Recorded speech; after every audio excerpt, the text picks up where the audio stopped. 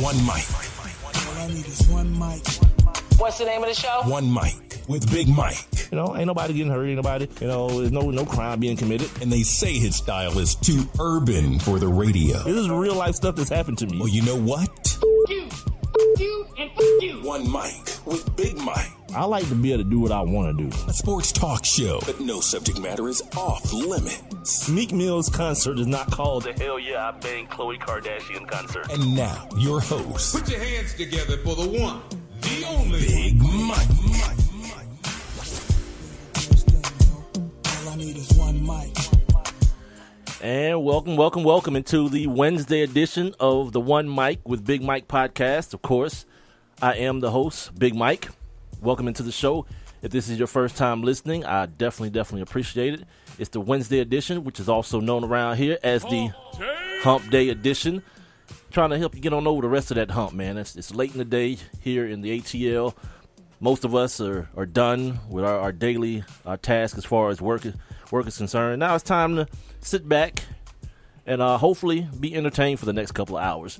I'm being heard every Monday, Wednesday, and Friday via the Spreaker website. That is S P R E A K E R dot com. You guys can also go and download that app so you can take it with you anywhere you want to go.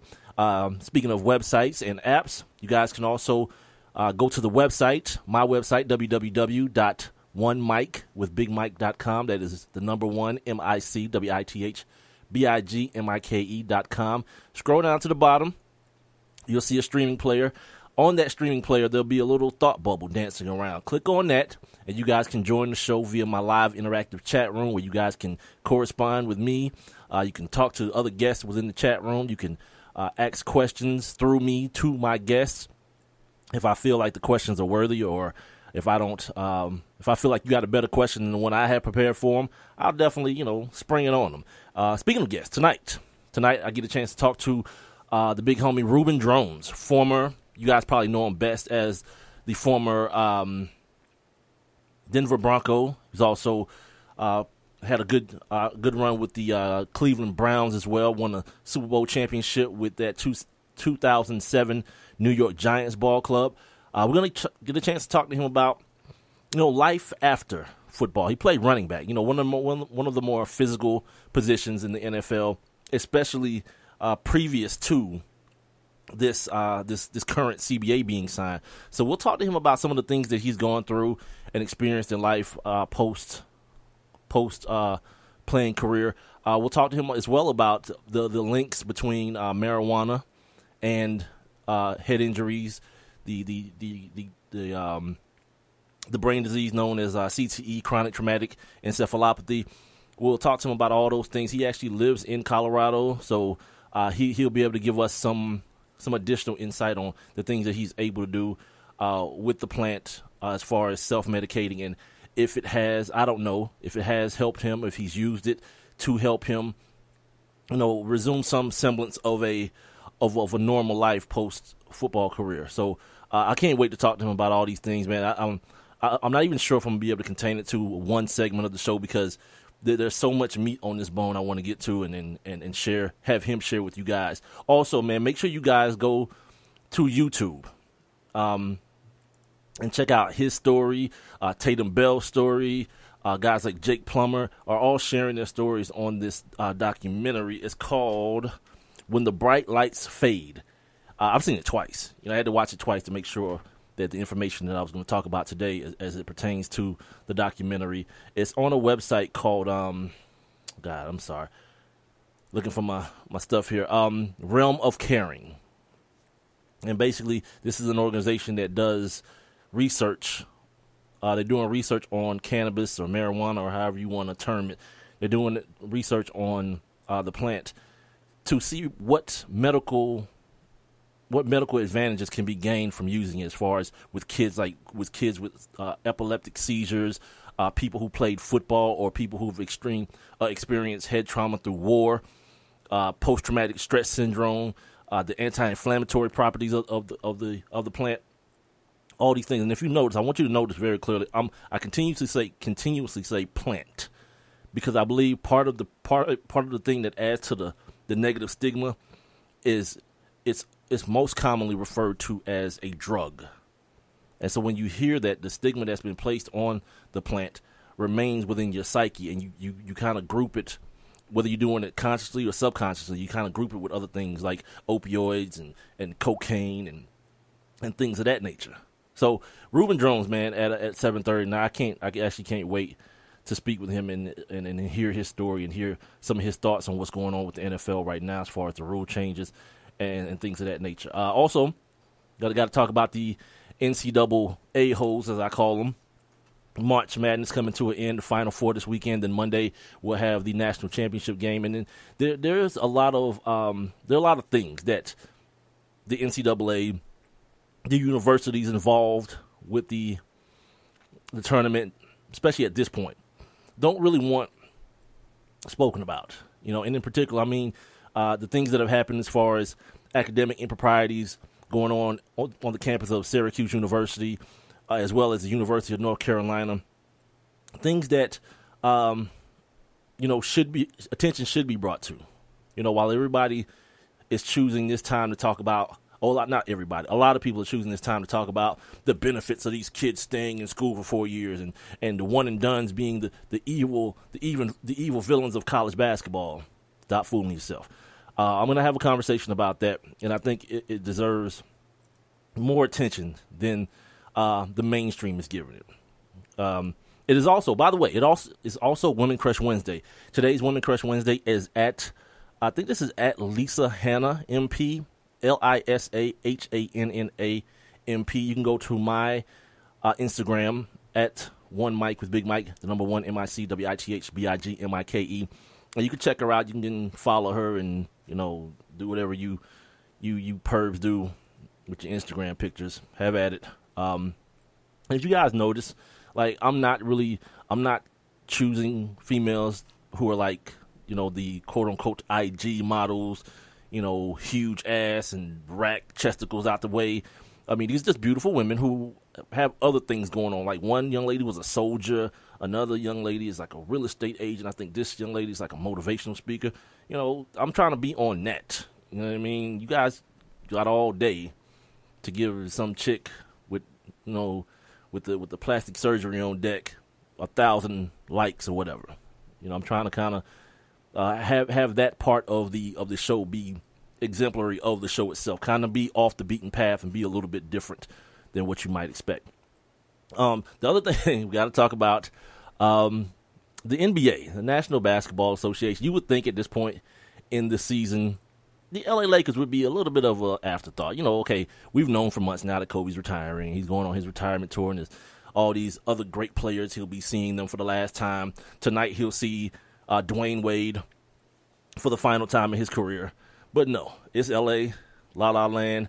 Uh, they, have got to give us something, right? And yeah, and the funny thing is, I've actually avoided talking about this team. A couple of weeks ago, there was a um, maybe last week a story that came out about D'Angelo, not D'Angelo Russell. I'm sorry, Jordan Clarkson and uh, Nick Young, Swaggy P, uh, being kind of looked into some allegations, I should say, of sexual harassment.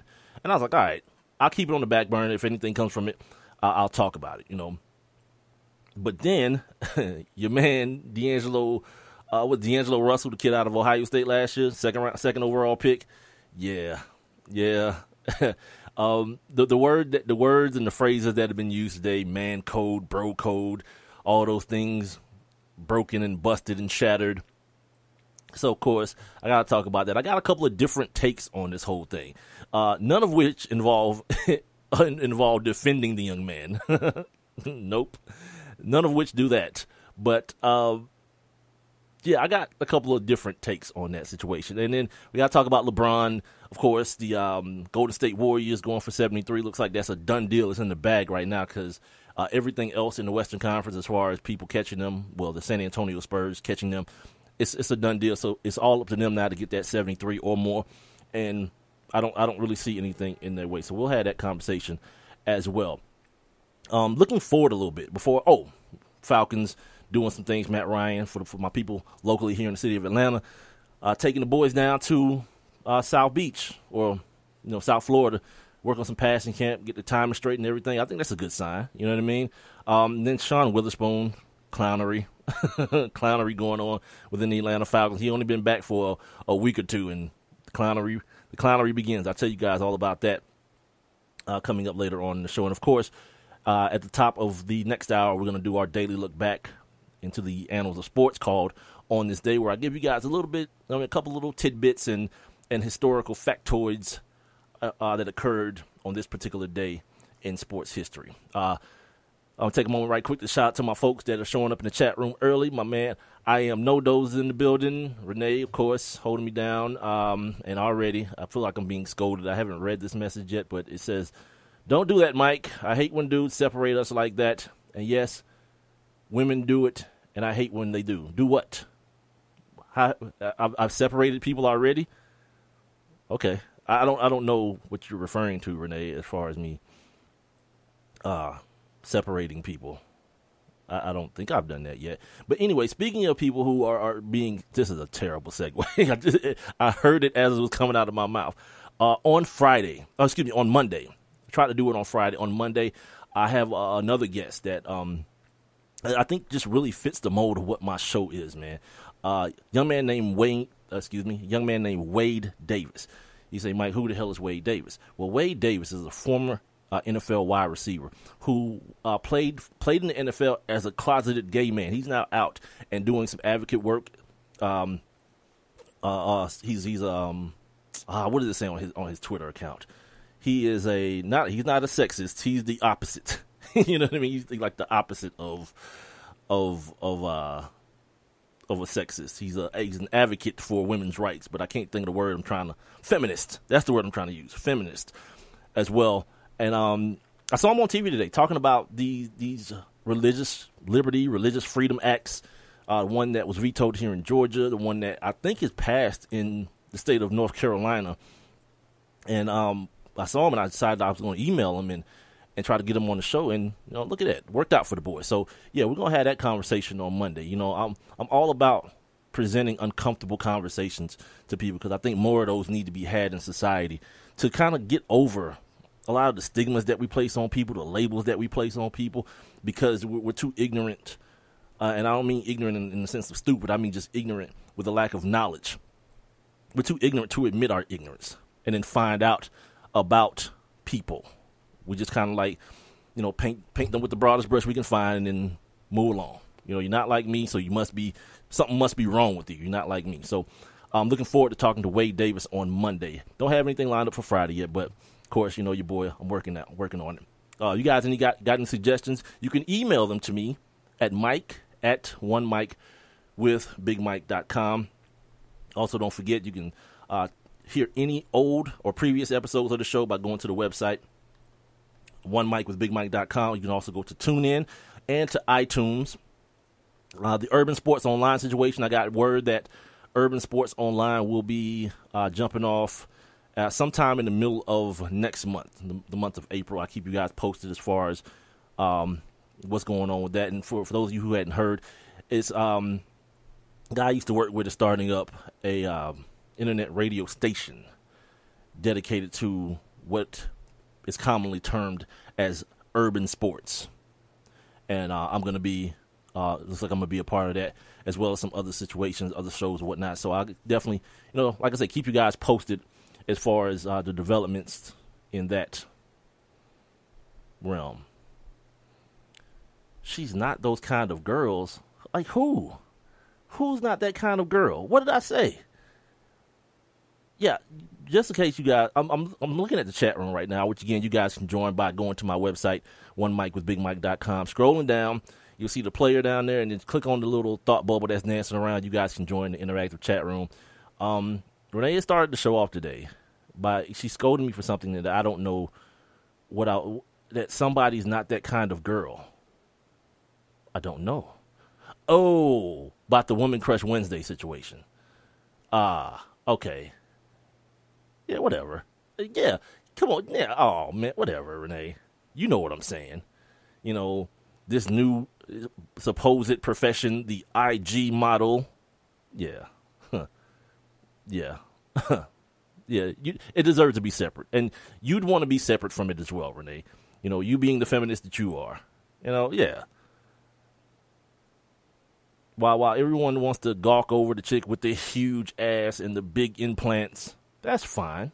But still, I believe that the, the professional women, the women that's out there handling their business and just have their natural beauty rocking, they rocking their natural beauty should be should be acknowledged as well. That's all. You know, do your thing, do what you do. But you know, as far as this show goes, you know, I'm trying to go against the the, the norm. And like I say, always the numbers bear it out. You know, some of these some of these women that I select, you know, they got like 40, 50 likes. The other chicks like 4,000 likes. The numbers bear it out. So anyway, let's start the show. How about we do that? Let's start with uh, what's going to be happening. What this Saturday? They they kick off the uh, they, kick off the Final Four: Syracuse, uh, UNC, Oklahoma, and God dog it, who's on the other end of that dang daggone bracket? I was sitting here, I was sitting right here looking at it earlier. Uh, but the two teams I wanna, I wanna highlight, the two schools I wanna highlight, are the University of North Carolina and uh, Syracuse University. Now you know Syracuse started off the season actually being uh, with their coach actually be sus- being suspended. He was actually um, uh, like 108 victories were vacated as well from his record. Um, and now, unsuspecting to most people, to a lot of people, I should say, you know, a lot of people like Doug Gottlieb and, and Dick Vitale had a big, you know, whoop-de-doo about it, about them not, or about them appearing, even getting into the tournament. And now here they are on the grandest of stages about to about to hit the court in Houston in front of like 90,000 folks in college basketball's, you know, premier event, which is the the Final Four. All right. That being said, uh, the sports media and the partners, the TNTs, the CBSs, the partners of the uh, the the association, they're going to be very careful in addressing uh, what's going on on the campuses of each university. It's Villanova in Oklahoma. All right, there we go. That's the first game on Saturday, and then the last game, the late game, is going to be North Carolina and Syracuse. They're going to be very touchy, touch and go, and, and not really want to attack this situation. But the fact of the matter is, it speaks to the the larger issue of hypocrisy within the NCAA. And I'm not talking about like how many games should be vacated or what the suspensions could be. They talked uh, Larry Brown, SMU coach, who they weren't able to participate in this year's uh, this year's tournament, and people expected people suspected they would have gotten somewhere around a fifth seed um, coming into the tournament. They had some improprieties, some things went on with a, I think with a tutor doing someone's paper or, or taking an online class for a kid. Uh, some of the same stuff that went on in with Syracuse. You know, people doing classes for kids.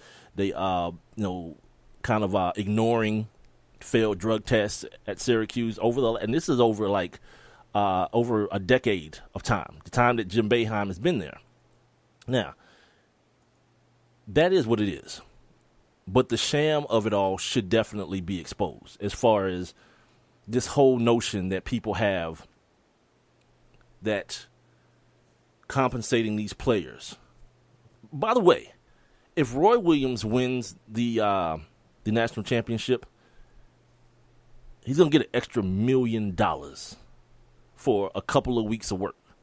Now that ain't bad if you can get it, but when people like Colin Cowherd start trying to make make their cases for why the kids can't share in the uh, in the in the proceeds of of jerseys being filled. Like I just mentioned, ninety thousand people gonna be uh, at Reliant Stadium watching basketball on uh on this weekend over the next three uh over the next Saturday, Sunday, and Monday night. Ninety thousand 90,000 people a pop. And, and people like Colin Cowherd want to start talking about how he believes the kids should get some of the money. But what you got to think about is these kids, you got to fly them places, and then you got to put them up, and you got to feed them. That sounds like the cost of doing business with me, to me, because if Roy Williams can get extra for simply doing his job, like that's what your job is to do as a, as a NCAA basketball coach, to get to the tournament and advance. no matter if you're coaching at the University of North Carolina or if you're coaching at Monmouth. Same goal, same job description, same things are expected of you. Now, maybe fan expectation at the University of North Carolina may be more just because of the the lineage that resides there, but whatever. At the, at the grassroots level, your job is to win b- basketball games, and the fact that you're able to capitalize and get more off of off of your tournament run. When the kids, if you want to make that that that parallel argument, the kids are doing more. North Carolina's played more basketball than I don't know VCU. Why shouldn't they get something extra, where they get a plane a plane ticket to go do their job? Have that happen at your job. The way you if you if your company requires you to travel, have them start taking it out of your out of your pay because you're going to do their they, you're going to do their work. Why should you pay? Like all these things that we want to kind of put on the kid, like they get access to the best trainers and they get access to the best this and that. That's the cost of doing business. You you put that in place. Why? For a couple of reasons. To attract more athletes, and two, because these college uh, these colleges are supposed to be nonprofits they have to spend all the money. So that argument, that other argument, whereas you know every every school isn't Alabama. They're not bringing in money like that. I'll probably disagree with you. You know what I mean? I'll probably do that. There's a baby crying in my house. We don't have no babies. Anyway, so the what I'm saying is they have to spend the money because they have what is it CP 503 status. They have to be a nonprofit, so they have to spend the money and, and upgrade facilities and pay coaches eight million dollars a year. So that at the end of the day, they're either in the red or they're at zero. It's just hiding money. And when you see things like this, and the reason I'm bringing this up because I know it's an old argument. It's kind of people probably think it's it's antiquated, but the problem is when you have a school like Roy, like like University of North Carolina who's going through the the academic improprieties now with those what they call paper classes, kids taking African American studies and Swahili and, and things of that nature. These classes that they don't have to go to, they don't have to do any work at, but they get the grades so they're able to stay available and stay on the field and stay on the court that in and of itself says you're not trading me an, an, an education for my services. What you're basically doing is giving me a nice car with no engine in it. It's useless to me. To everyone on the outside, it may look like, man, that dude got a damn Benz. But to me, the person who needs the car to perform duties or whatnot, yeah, guess what? I'm screwed. That, that, my friends, is the problem. This whole sham of amateurism. And I always pose this question: If it's amateurism and these, and it's a sport that's supposed to be pure and, and, and dictated by amateurs, why don't you pay the coaches that way? Why don't you let Nick, Nick Saban take a couple of PE classes or whatnot to coach Alabama?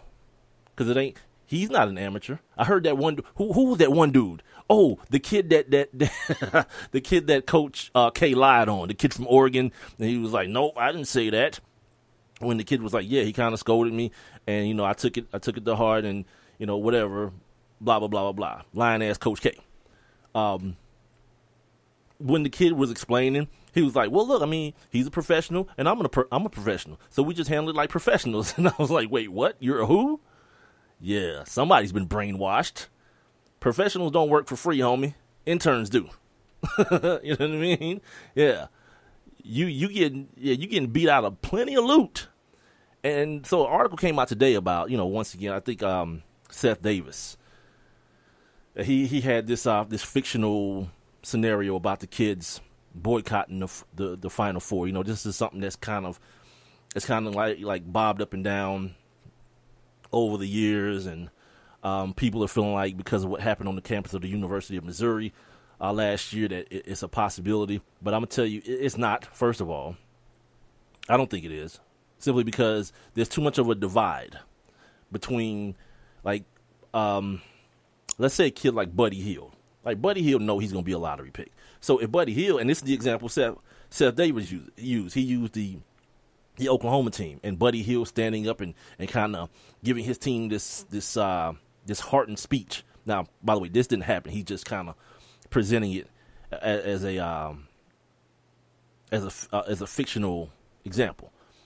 Um, but the problem is this: Buddy Hield know he's going to be a first round lottery pick in the NBA, right? But some there's some kid that knows I'm going to be an accountant next year, and this is at, to this point is the highlight of my life.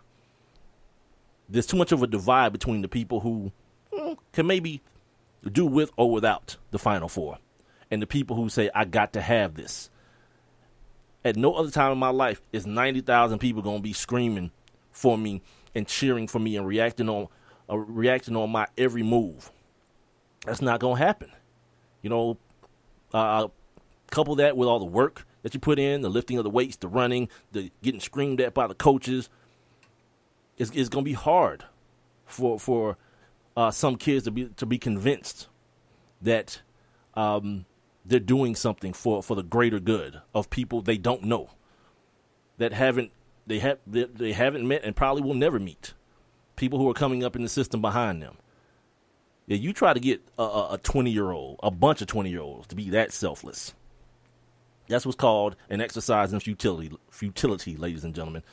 Um, let's see, we got a couple more minutes. This is one Mic with Big Mike talking about this NCAA situation. Um, the other thing that, that was found as far as the University of North Carolina goes, uh, as this investigation goes on, like Syracuse has already served their, if you want to call it, punishment. Uh, but the, the situation with the University of North Carolina hasn't been resolved yet. Um, their athletes, after after the research was done, had a 3.61 collective GPA with the paper classes. You know, with the African American Studies classes that they didn't have to go to. Take those classes away. We're talking 1.91. Why is that? Why is that relevant, Mike? Well, here's why. Roy Williams, part of that million dollars I talked about, if the APR, which is the people who are on schedule to graduate, if his APR is above nine, uh, 975, he receives $75,000. Another is another instance of what the hell are you doing? Because I, I believe you can't have it both ways. If you're benefiting off of my grades, when stuff like this academic scandal goes down, you can't be the dude to be like, I, I don't know, I'm just a basketball coach. I don't know. It sounds to me like they're paying you to know, homeboy. You and Jim Boeheim. That in and of itself is, is, is another larger issue. These emperors that are on the campuses of these colleges, these these people who want you to believe the Krzyzewskis of the world.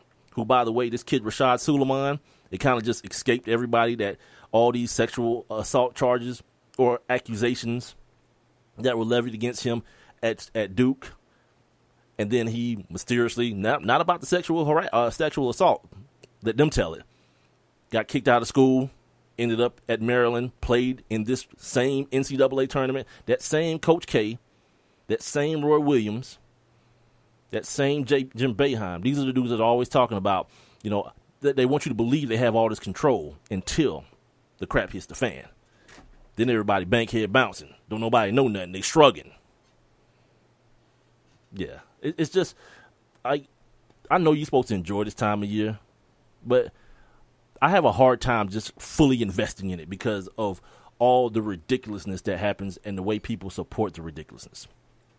I'm going to get back to this conversation. I got to take a pause for a minute to talk to my guy, Reuben Droughns, former NFL running back for, uh, you might, guys might know him uh, uh, more commonly as a running back for the Denver Broncos for a year, and then he, he uh, had some more success with the uh, Cleveland Browns as well. So we'll get him on the phone, talk to him next right here on the One Mic with Big Mike show, heard on Spreaker.com every Monday, Wednesday, and Friday starting at 7 o'clock. Also, make sure you guys check out the website. You guys can get all my social media information from there. You can email me, Mike, at onemicwithbigmike.com. And also, you can listen to the show either live episodes like right this minute or uh, previous episodes. And you can join the live interactive chat room by clicking on the little thought bubble that you see dancing around on the player and uh, make yourself a part of the show. I'll be right back. Hey, what's up, everybody? I'm Jason Derulo. I love that music connects to people all over the country. But unfortunately, so does something else childhood hunger. 15 million kids struggle with hunger right here in America. And yet, every year, billions of pounds of surplus food in the U.S. go to waste instead of going to the children in need. Feeding America is working to change this. The Feeding America nationwide network of food banks rescues this surplus of food to help provide meals to families in virtually every community in the United States, including yours. But they just can't do this alone. Join me in the fight against hunger in America. For more information on what you can do to get involved, visit feedingamerica.org. That's feedingamerica.org. Together we can solve hunger. Together, we're feeding America. A message from Feeding America and the Ad Council. I heard on the news about that five year old who found his uncle's gun. The kid didn't know it was loaded. I heard on the news about that 14 year old girl who was bullied online. For like a year, she couldn't take it anymore, so she got her dad's gun from his nightstand. I heard on the news about that guy who broke into someone's house, stole a gun from the hall closet, He accidentally shot his cousin in the head. She killed herself. and later killed the owner of the store he was trying to rob. If you own a gun, you have a full time responsibility. When you aren't using it, be sure it can't get into the hands of curious children, troubled teenagers, a thief, or anyone else who might misuse it. Your family, friends, and neighbors are all counting on you. Remember, always lock it up. For more information on firearm storage safety, visit ncpc.org. This message brought to you by the National Crime Prevention Council, the Bureau of Justice Assistance, and the Ad Council.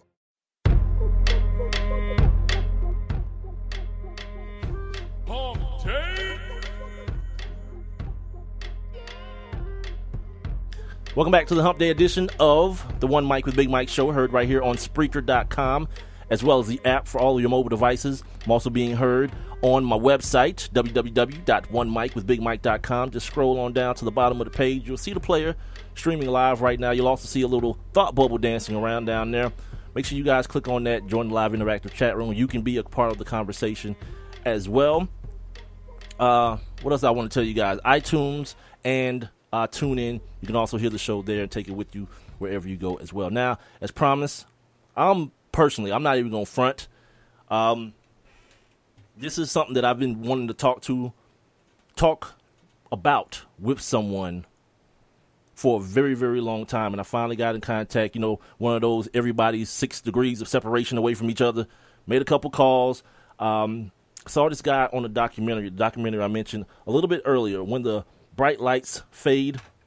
I do advise that each and every last one of you go to YouTube and check that joint out. If you love football, if you want to know more about uh, what the players go through, some players go through when you're done watching them on your NFL Sunday Ticket or your Red Zone channel, make sure you check that joint out. But without further ado, I want to welcome into the show, to the One Mic with Big Mike show, the big homie, Reuben Droughns. He's a former NFL running back out of the University of Oregon, played most notably played for the Broncos and the Browns. You can follow him on IG and Twitter at Reuben Droughns. It's at R E U B E N D R O U G H N S. My man. Uh, first thing I want to get out of the way before we get into the, the heavy stuff, you gotta talk to me about this this notion. Your name comes up all the time when people talk about that Mike Shanahan system and how any dude can just roll up in there and get a G, run for a G. Um, where do you at what side of the fence do you what side of the fence do you uh, uh, uh, stand on with that notion? Because dudes wasn't just getting like a G. Like Cats was getting like 12 1500 Terrell Davis got 2 Gs. You went but then you left though. You went to Cleveland and got another 12 in Cleveland. You know, that's the thing about it, though, man. You know, it's um, you know, everybody says that, and it, it, it's, it's somewhat true. I mean, he has a really good system for running back that's built for a running game. Um, and same with Kubiak. I mean, obviously that it's, it's prevalent in um, C.J. Anderson, but um, what's so special about it know, though you, you gotta have a, you gotta be hungry. You know, it's, it's, you gotta get a guy that's hungry. You gotta get a guy that's you know that's no no no holds bar. He's one cut. He's straight downhill. He doesn't play in no games. He, he's going to put his shoulders down and he's going to run some people over. Um, you know, and that he's got to be able to break a tackle. You know, because um, if you're not able to break a tackle um, in that offense, you're not going to be uh, doing very well in it. Uh, you know, you got Clinton Portis, Mike Anderson, um, Olandis Gary, uh, Gary, Tatum Bell, uh, Tatum Bell, Terrell Davis, and all these guys are downhill runners. You know, they're they're not the elusive type of guys, other than Olandis Gary and um, and um, who else? Who else? Uh, well, Griffith. Uh, uh, Griffith was uh, was pretty good at it too. Right. Was one of those very Sanders type of guys. But you know, you, he gets those bruisers, man. He just gets those guys that are able to go downhill and just punish guys. So y'all heard it here first. It's not the damn system; it's the backs. There we go. I cleared it up for everybody. Um, tell me this: what's your relationship with football now? Um, you know, I coach a little bit here and there. I um, I, I, I mostly go overseas and do some coaching in um, out in Europe. I've been in Europe, and um, I'm, I'm um, um, currently I'm going to be going over to Australia and coaching in one of their leagues over there. Word. Um, so I, I still I still dabble a little bit here and there. Any um any lingering resentment from, uh, especially now with the admittance of the link between the, the head injuries and or the, the, the brain injuries and the game of football actually hearing people associated with the league uh, admitting these things is there any kind of lingering resentment because some of the things that you mentioned in that documentary man uh, they, they honestly they were kind of dark man and i don't think a lot of people realize what you guys what some of you guys go through when as the documentary yeah. states the bright lights fade yeah i mean you know it, it, it's true man you know especially when it's when you're first coming out of the game i mean you're a different person. You're you're not the same person that you went in the game with. Um, you know, um, you know, know, a lot of things are going to change. You know, you know, obviously financially, uh, physically, and emotionally, things are going to change. You're you're going to lose that bond and that connection with uh, with guys that you um, that you you know you uh, a game that you played all your life, and, and and and then you're trying to figure out what's next. And then, and, um, you know, you're obviously you're battered and beat up, man. It's not like you're gonna sit at a sit down at a desk job and be able to be comfortable sitting down at a desk job and enjoying it. Um, you know, you know, a lot of a lot of the pain, a lot of the pain and, and, and, and things of that nature take take its toll. You know, pretty much right after the game. What what was it like the first like after you hung it up after you knew that the career was over and it was time for chapter two of Reuben Droughns's life. What was it like that? Not the first day after, but the first day that you were supposed to be doing some football, some type of team activity. What was, was that hard. day like? It was, it was extremely hard. You know, it was it was one of those things where you just feel like you lost something. You know, you feel like you've um, you know lost your lost your dog or something like that. It was it was extremely hard, man. It was uh, it was one of those emotional moments. Um, you know, not knowing that you're not going to be strapping up again, and knowing that you're not going to be out there sweat, sweat, blood, and tears with your partners, your your guys that you you came up through the ranks with, and um, you know, just not being able to strap it up no more. I mean, and you knew that that was it. You know, this is going to be the last time that I've ever put on a uniform again, and you know that's you know, you know, you know it's coming. You know that day is going to come at some point yeah. in time, but you, you never want it to come. You know, you never you never really know what to do after. And, and, you know, it took me a while to um, actually watch football. You know, um, again, you know, it, it took me about a year or so mm-hmm. where I didn't, I didn't, I didn't even think about football, man. I didn't even want to watch it. You know, it was really hard to see some of my buddies go through it and and not be out there, you know, you know, fighting with them and stuff like that. And so, you know, you get depressed, and you know, and a lot of um, a lot of things just, um, you know, obviously. A lot of the injuries start setting in, and you know, uh, you know, you, you just some, you know, some some talents and, and limitations. You you realize that you're um, that you have, you know, as far as um, you know, after the game and, and, and, and stuff. It's the One Mic with Big Mike show. Talking right now to former NFL running back uh, Reuben Droughns. Follow him on Twitter and IG at Reuben Droughns, R E U B E N D R O U G H N S. Uh, talk to me. I want to know more about uh, a realm of caring and how you got involved with that it came to my attention through an article that I was reading uh, for last week's show. A guy that's currently playing, Eugene Monroe, brought this organization up, and uh, he was talking about the work that they're doing as far as uh, with cannabis uh, or marijuana, yeah. and how it may be able to help with uh, the concussion situation going on in the NFL. What's what's your affiliation with that group? I mean, for, for me, I mean, it helps, man. You know, I, um, you know, I, I, I hooked up to him with um, my, my my good friend Jake Plummer and um, Charlie Adams, a couple of my old teammates out here in the Broncos, and you know, we we all live out here in, in Colorado. You know, you know why. Yeah, absolutely. Uh, Hell yeah. You know, it, it it's you know, it, it doesn't hurt. You know, it, it, it you know, I feel if it if it's something that they can if they can extract something from this this herb and and and, and, help people and and, and and, and make people better and, and take some pain away without it's a natural it's a, it's a natural um, it's a natural drug. It's not like it's going to be Percocet where guys are popping ten to fifteen pills a day and and and, and, and getting stuck in habit. You know, it's just it's you know I I prefer people to be I prefer people to be taking something from the, the marijuana plant where Mhm. it can it, it really does help and, it really does keep a guy that with anger management and you know guys with anger issues and temper issues to to have a calm relaxed day you know you're not you know it just it just mellows you out How um, in your estimation, how many? What percentage of, of current NFL players would you would you estimate uh, self medicate with marijuana? And and you yourself, while you were playing, did you did you self medicate? I surely did. I surely did. You know, I um, you know, I I I, I- went through the realm where I was um, you know, I was popping popping pills and stuff like that, and I, you know, you could tell me you getting hooked on it, drinking drinking and popping pills, and you know, it it it just wasn't it wasn't good, you know. And then you know, after a while, I was like figured that hey, you know, let me just stop taking all these pills and Right. just, you know, obviously smoke some marijuana where it it took it took my pain away, you know, and it, and it you know I could bounce back from it, and I didn't, uh, you know, it's not like I could had to do it, uh, you know, every hour, every day, you know, or pop, you know, you know, where I'm popping like 30 pills and, and can't function, Right. you know. Um, you know, I was able to function on it. I was able to do the things that I needed to do on a daily basis, and it, it, it, didn't, it didn't, um, it didn't hurt my, it didn't hurt my job, to be honest with you. Now, would you would you say that's that's a common thing? That's a common thing uh, amongst the, amongst say- the, the land of the NFL. something, But you know, you don't want to speak on it because you want to, you know, obviously you do want to speak on it. Yeah. You know what? You, you guys, you guys need it. I, I'd rather them not being getting hooked on Percocets and stuff like that and things of that. You know, just it, it's wrong. You know, if, if this is something that can help you in the long run, why wouldn't you? Why would you, what would you ban it? Is it because of the stigma that it has from the back in the day, where you know our grandmas and grandpas and stuff like that were like turn their nose up to it? Right. No, it's, it's a different day and age right now. We're we're we're evolving.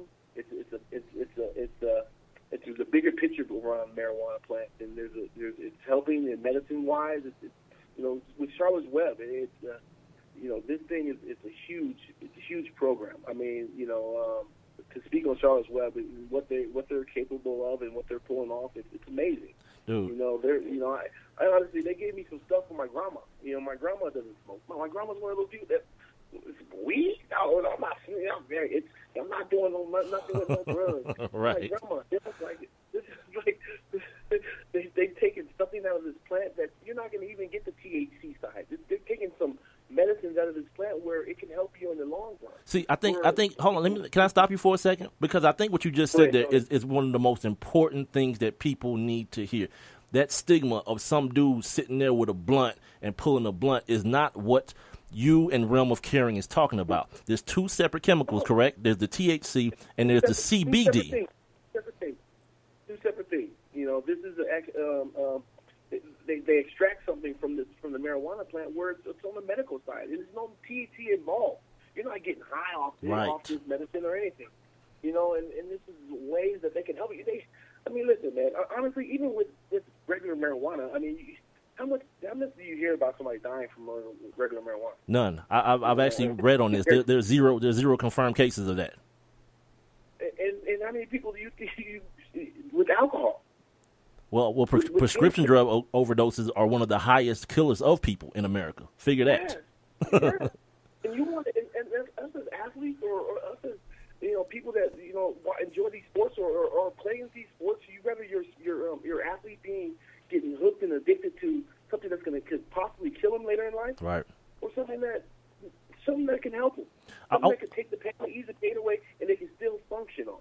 I want to run something by you, a, a theory that I have and I've said this to people on this show and other shows that I've hosted that I, I believe that this marijuana issue, as it relates to the NFL, is going to be looked upon the same way we look at uh, uh, hit, uh, hits to the helmet now. The way at one point it was like celebrated, but now we can't believe we ever felt that way about somebody getting knocked out on the football field. I think in the future we'll look yeah. back and we'll look back at guys like Josh Gordon and Martavis Bryant, dudes that are losing a year of their careers to to marijuana, which in a lot of cases they're just using as medicine we're going to look back and say, I can't even believe the NFL was kicking dudes out the league for a year for this. What do you think about that? You, you, you know why? I mean, come on. I mean, think about it, man. It, it's like it, it's, it's that stigma. It, they're not going to. It's not federally legal yet. They're not going to. They're not going to jump on board. They're not going to jump on board with it until it, it is. And they probably still won't jump on board with it because there's still a lot of companies out here that even in in, in the state of Colorado where they won't allow their employees to, to to get licenses and things of that nature because it's that stigma of, of you know the the marijuana user is the you know the guy that oh the hippie right. the that can't function on you know the Scooby Doo you know or the Shaggy the so Scooby Doo. this, is, this is not true. This is not true. You know, there's, there's there's prominent Americans out there smoking marijuana in their closets or in their basements where nobody can see them and still being able to function on a daily basis. We're talking right now with Reuben Droughns. He joins the One Mic with Big Mike show. Former NFL running back for the Broncos, most notably, and the uh, Cleveland Browns. Follow follow him on Instagram and Twitter the same way I do at Reuben Droughns R E U B E N D R O U G H N S. Um, let's talk about let's talk about the, the causation, the, the the need for this plant, the uh, the concussion issue, the yeah. CTE situation. Yeah. In your career, uh, I don't mean confirmed, based on like the knowledge that we have now, the new information that we're being given as far as uh, head trauma. How many estimated concussions do you think you've had playing running back, for God's sake, in your life? You know, I, I couldn't tell you because you know what? I, I, I there was one, there was a couple times, there was maybe two or three times where I was knocked out on the field, and I just got back in. You know, and where there was a couple of times where I I hit somebody and I just sat down there for a second where I was I was concussed, but I just you know just walked it off basically. You know, the the, the thing the thing about it is you know, just like Mark Schlereth said, he said that, you know, just giving us the knowledge of it. You yeah. know, just having us being able to, to make our own decisions. And, and is, is that is that to say I would never play football again? I don't know. Is that to say I would, you know, is that to say I would have like changed my style of running? Probably, I, I probably would have changed my style of running. Mm-hmm. You know, um, will I take that hit going out of bounds, or would I just go out of bounds? You know, will I do uh, um, Arian Foster or or or, or, or LeSean McCoy and, and, and, and dive towards the ground and, and, and avoid the hit? I might have. Yeah. You know, it's just it's just the, the the fact that at that point in time we didn't have the knowledge. We didn't know the causes of of, of brain injuries or, or, or, or concussions and, and, and head trauma and stuff. We didn't know. You know, and, and the fact that we anytime we played the game, oh, you're like they said, we were about getting a broken bone, or you know, you might break your leg or something like that, mm-hmm. you know, crack a rib or something, and you know, you know, get knocked out. But who's who was to know that getting knocked out could cause later term issues? You know, nobody knew. Well, well, now that now that players do have the option or do do have the information, look at what's happening, Reuben. Look, look at these guys, these these Calvin Johnsons, uh, this kid from the Chiefs the other day. These guys, prior to thirty years old, are like, you know what? I got my money. I'm out. Yes, yes, yes. Giving them, they, they they've gotten they they got the option now. Yeah, yeah. You know, just like kids and parents that are sending their their kids to football now, they have the knowing. Some uh, kids some parents are, are holding their kids off. Hey, you know, I'm going to let you play when you're in high school instead of instead of instead of letting them beat their brains up while they're five and six and seven years old. You know, there's no reason for it. You know, we can still play flag football and still learn the same uh, concepts of football and, until we get to high school. You know, and, and there, there wouldn't be no no problems with that. Um, as you get further and further away from your playing days, what are some of the things that, that you're most fearful about? With, with all the new information coming out, with all the new, with, with everything that we're finding out now, what are you mo- mo- most fearful about moving forward? Turning forty. You know, and and it, it you know, and Well, you got that number. you, you got to clear you got to clear that up because I just turned 39 on Monday, but my fear of turning 40 is probably different from yours. Like I'm more fearful of the prostate exam. I'm sure that's not what you talk about. you feel me? well, I mean, because you, you take your guys like you know Kevin Turner, um, Junior Seau, yeah. um, guys of those days, they were in their forties, man, and, and that's when their issues started to happen. You know, Kevin Turner started turning forty-one. That's when he started having this problem. You know, the, these are the issues that are, are, are occurring, and, and, and the biggest issue, and the biggest issue is, is guess what? We're alone. You know, and, and, and it's, it's it's it's sad to say that we are alone on this in this matter because the NFL, the the the the, the, the you know the motor behind our job, where we where we took our pride in in in in, in, in, in our brand and, and, and wore it tough and, and proud. They they don't back us no more. We don't have medical anymore. Five years after you're you're done playing ball, and most guys are done, like you said, at age thirty. You know, maybe before that, or Yeah. the age of you know thirty five. After that, you're pretty much you're too old. you know, and then by that time, five years later, you don't have no medical. You don't have no med- nobody covering you, and then your injuries start to amount up. Yeah. And guess what those injuries are? The injuries are, are sometimes dementia, uh, Alzheimer's, um, um, um, spine and neck problems, knee problems, um, things that are related to the game, where the surgeries and, and, and the medical costs for these things are, are astronomical. Yeah. You know, it, it's just sad. It's just sad that they don't they don't take care of their guys like that. You know You what? know, obviously, they, they, they. Go ahead. No, I'm sorry, my brother. Go, go ahead. I'm sorry. No, it's just it's just it's just really sad the fact that they have the, they have the capability, they have the knowledge, and they have the the, the know to, to do it. You know, listen, most guys that apply that apply for uh, uh, disability, there's probably there's probably about one percent out of one percent out of all retirees that that get retirement every year. hmm That that get um, disability every year. Wow. These guys that can't walk and they won't give them disability have been denied disability. And, and even if you were, even if you were like diagnosed with with uh, a brain disease or any type of brain disease or any type of brain problem, functional problem, or dementia or, or Alzheimer's, who's to say that you're going to get uh, the, the um, disability? They deny it. They denied it. They denied it. They deny it. Wow. And it's funny because I, I was reading about that the other day, and I, I mentioned it on my show about how the um, the stipulations for get, getting involved in the concussion settlement, how they basically put people in between a rock and a hard place. Like if you if you pass away, because of course that's the only way they can find the the, the CTE in your brain, then you can Yeah. you can get a part of the money. If you're alive, you have to get as bad as like um as as having like Lou Gehrig's disease before you can get the money. And there's no there's no part in the middle like you're just talking about. There's no part in the middle where the dementia sits in or the other the other type of things sit in where you can uh, uh, take advantage of that settlement money. And I, I don't think the average fan is aware of those things, man. I think I, I've said it many times on this You know show that people You don't care. why? The league, is scared. Because guess what? Everybody that retired players have some type of those symptoms. Have Mhm. those symptoms, some type of form, some way. Whether it's anger issues, whether it's um, forgetfulness, whether it's you know mild dementia. I mean, every single player has some type of problem with it. Look at look at Frank Gifford. You know, this, is, this guy was a national phenom. I mean, he was he was, he was acting. He was, I mean, he, was, he was hosting. He was doing a lot of things. He was well known, and we don't know what happens behind the curtains. We don't know what type of person he was behind. He could have been crazy. Yep, He it could have been angry. his his his uh his wife and everybody says that everyone saw his his his his outward persona, his his uh out in the public persona, but they saw the changes at home. That's why they donated his brain.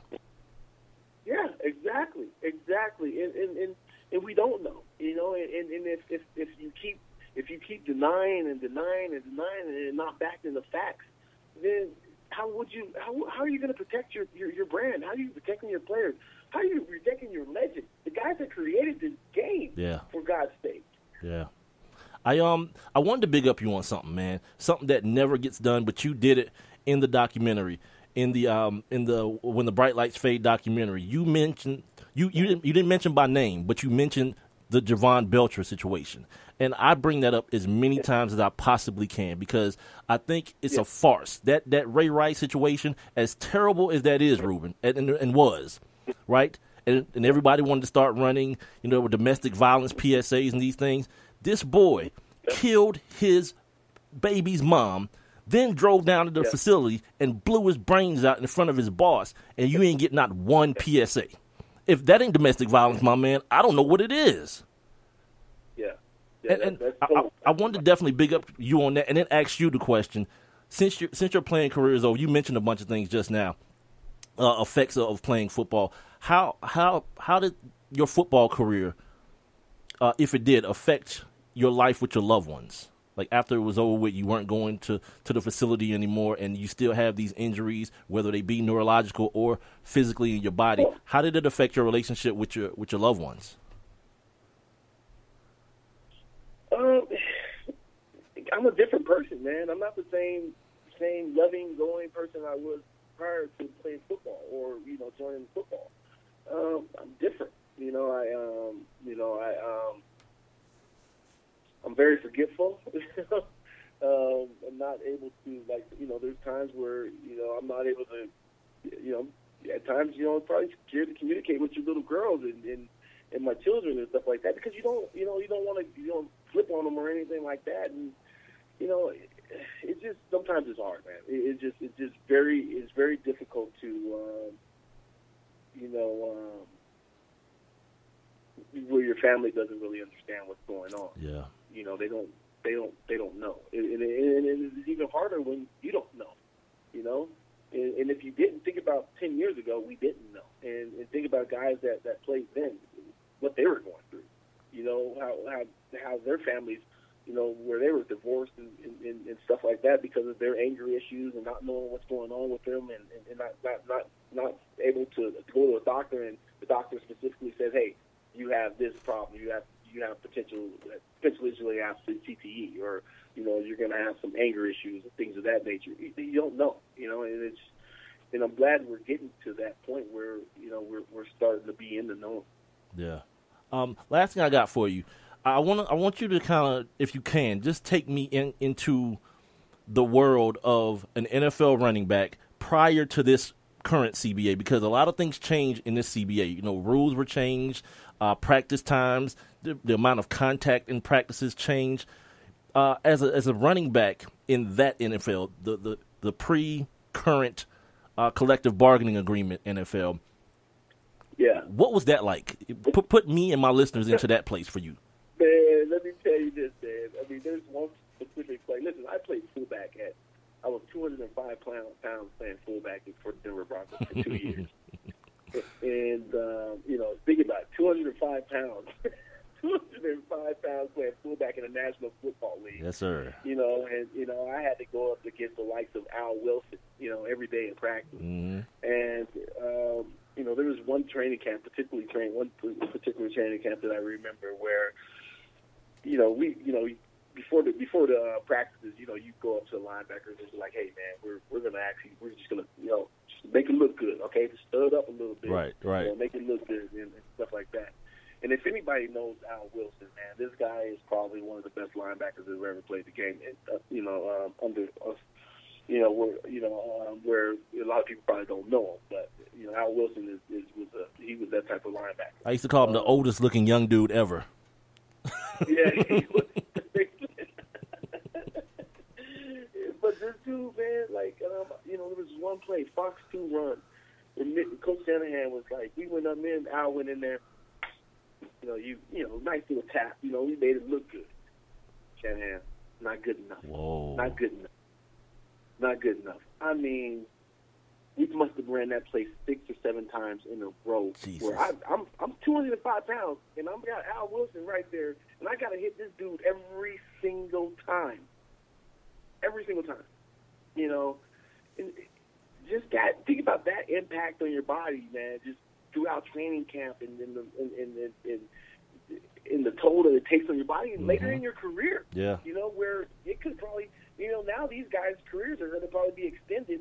You know, uh, anywhere from two to three years, longer, longer um, down the line. Absolutely. Where a lot of some of us, we, you know, uh, uh, prior to the CBA, we, we, we took a lot of punishment. You know, and, and through training camps, two a days. You know, um, you know, man, I was watching a, watching actually a documentary. I forgot who it was on. Dude, they used to go four weeks of training camp. Two a day, too, right? The 60s, back in the sixties and seventies and eighties. Yeah, man. Yeah, you uh, like it's like like I'm talking about with the marijuana situation. We look at that now and be like, "What the hell?" That's the same thing's gonna happen with this Yeah. marijuana situation, man. People gonna be like, "What the hell was the NFL thinking?" Absolutely. Yeah, whatever. I mean, and, and, and it doesn't hurt. It doesn't hurt you, man. There's medical ways that they can they can implement this. Um, you know, especially with Charlotte Webb. And Charlotte Webb, they need to get involved with Charlotte Webb because it, it can help them Yeah. in the long run. It can help them. You know, there's there's this, this natural plant that you can come, come out and get and, and, and get some cures from, and, and not only cures, but, just like things that can eliminate pain and, and, and, and depression and things of that nature. I mean, if it helps in that matter, I mean, why wouldn't you use it? You know, why would you go with something that potentially could kill you? It's a million dollar question, my man. Reuben, I'm around, my man, and I definitely you don't even know how much I appreciate you joining me and sharing your story with me, man. And we're gonna have to catch up a little a little bit later down the road, my man. I appreciate you. I know, Mike. I appreciate it, man. That's Reuben Droughns, ladies and gentlemen, former NFL running back out of the University of Oregon. You guys might know him um, most from the Broncos days and the Bronco and the Browns days. He won a Super Bowl championship with the New York Giants. Follow him online, man. Follow him on Twitter and Instagram at Reuben Droughns at R U uh, excuse me R E U B E N D R O U G H N S on Instagram and Twitter. Uh, also, man, make sure you guys check out the website Realm of Caring. You got to see this this um, this documentary. It's short, man. It's like you know 13 minutes long, man, but it's it's a very good insight on what the dudes that you see on Sunday when you be cussing these dudes out, make a damn tackle.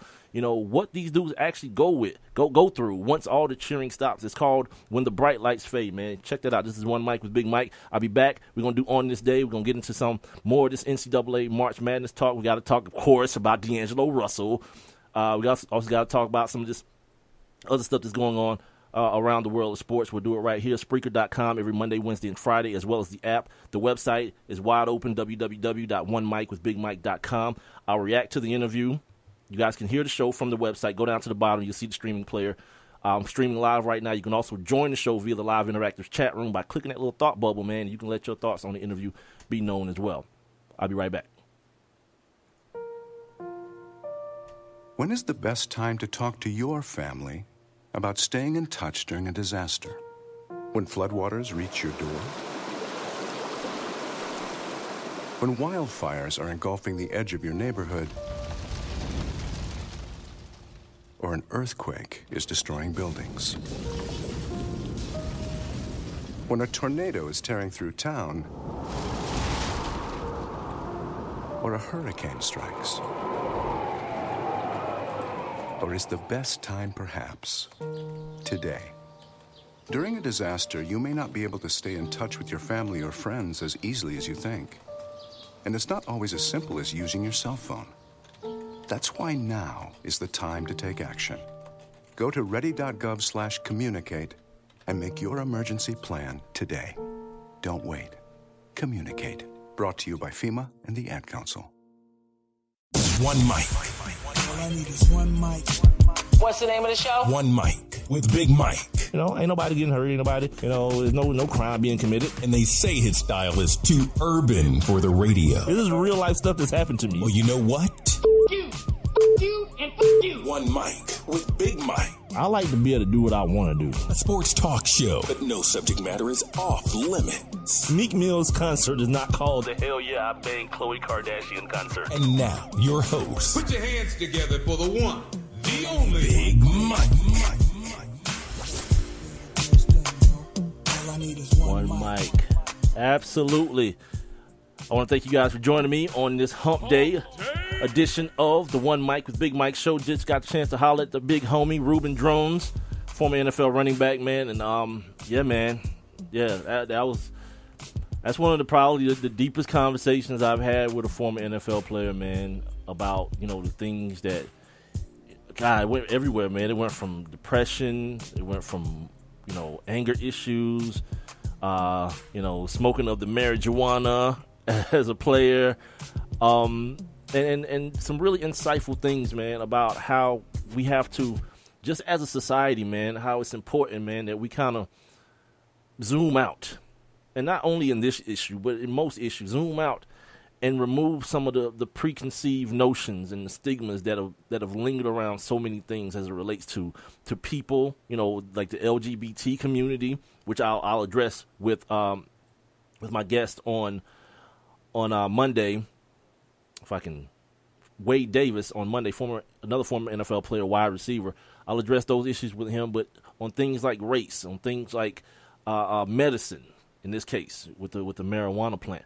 Uh, I, I just wow, I, I can't thank that dude enough for doing that, man. It took me a while, you know what I mean, to find me a person, uh, either a former NFL or a current NFL player. I really didn't want a current guy because I didn't want to, you know, I didn't want to do the D'Angelo Russell on him. I didn't want to put him on blast.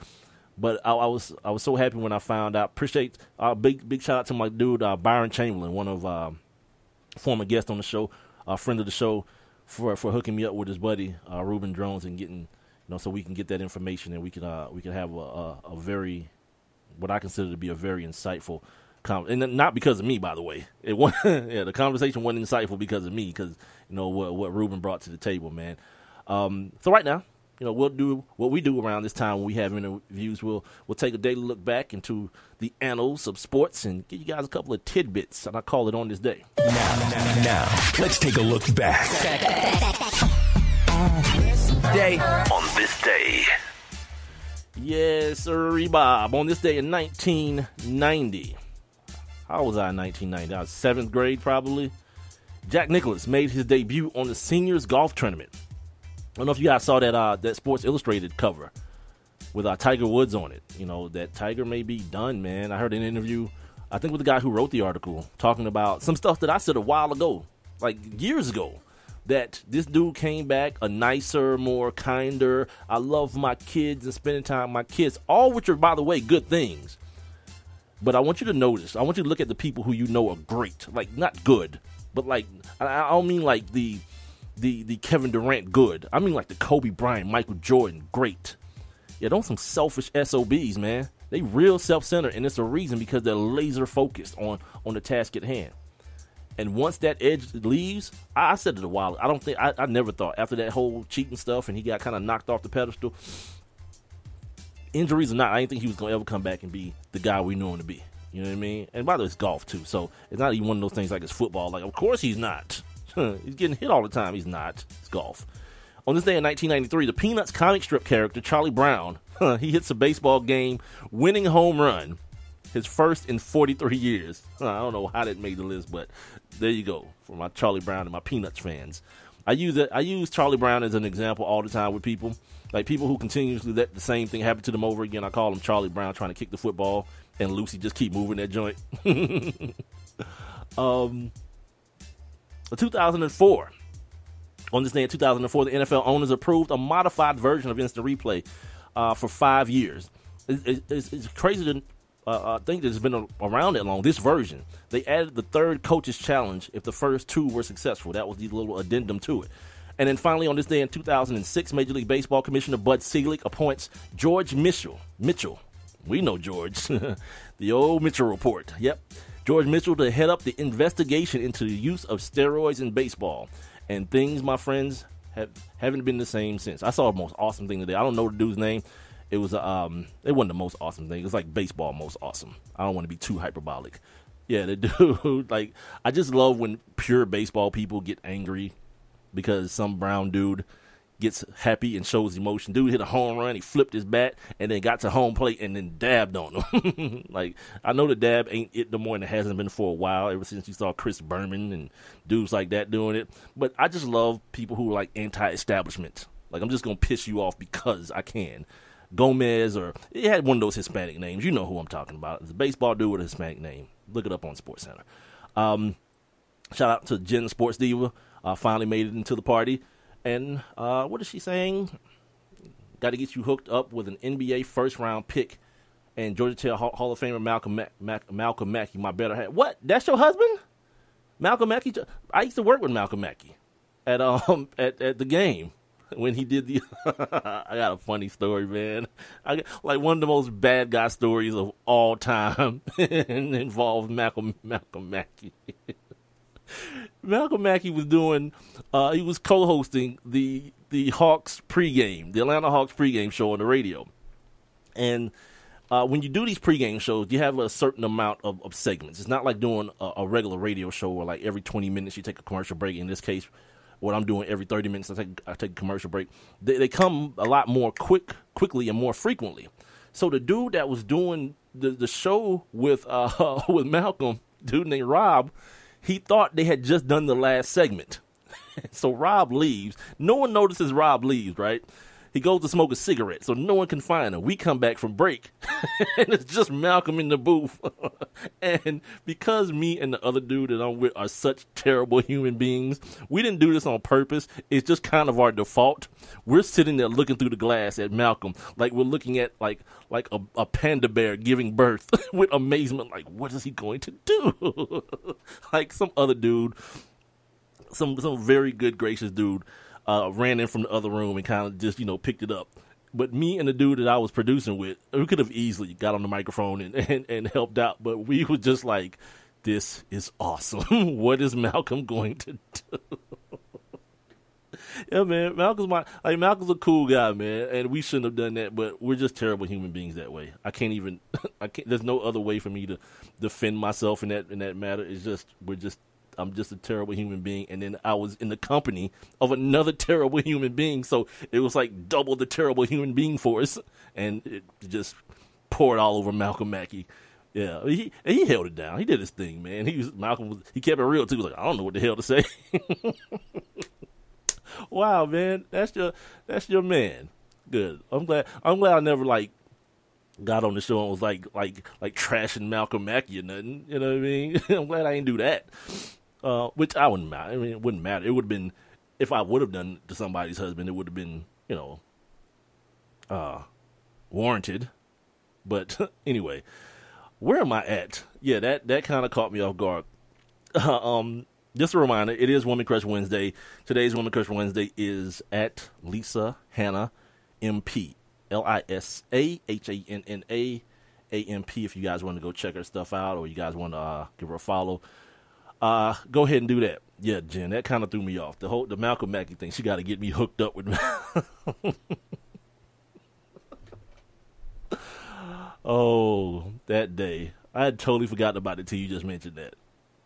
Good times. Um, so yeah, we were talking about speaking of Georgia Tech, we were talking about this this this fallacy that is March Madness. This this ridiculousness that you see these damn old ass coaches in these locker rooms, and Roy Williams got his head on sideways, and he trying to do his thing. And what all you seeing is the enjoyment of old of old men who have have found their way to utilize the efforts of young men uh, in order to uh, to become even more financially rich. That's all that's going on right now. And all these dudes who you hear Vitale and these guys say they're doing it the right way. Just wait. Just wait. Because next thing you know, Rick Pitino's got busted hoes on campus, giving out HJs and BJs and lap dances. And I didn't know nothing was going on. Well, here's the thing. If I do if I do grant you that courtesy of saying that you were just that ignorant to the situation, I'm also have to call bull on the fact that you probably didn't know because you didn't want to know. You know what I mean? Like that plausible den- deniability type thing. The dude who just the dude who never touches the dope, but is the kingpin of the whole operation. I introduced to you Rick Pitino. All those dudes, man. Not all. That's that's very dangerous to say stuff like that. Not all, but those a lot of those guys, man. You see this stuff come out, the stuff that happened at Penn State with Joe Paterno and all that kind of stuff.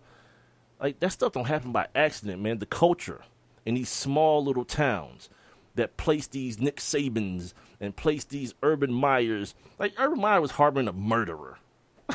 Feel me? Come on. Now you can you can say, well, that ain't that ain't his job. Cool, that's fine. But if I'm not gonna give you any of the blame, you shouldn't get none of the credit then.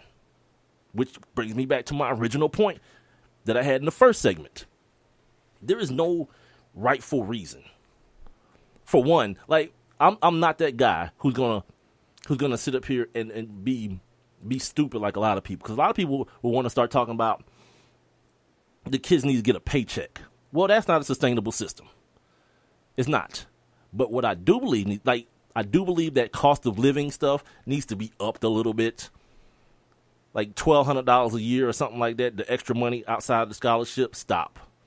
Because the reality is this: if I'm North Carolina and I got two more games to play in Houston, and I'm from California, I want my moms and my pops to come to both games. I want them to be put up in a good hotel. I want them to eat too, not on their dime.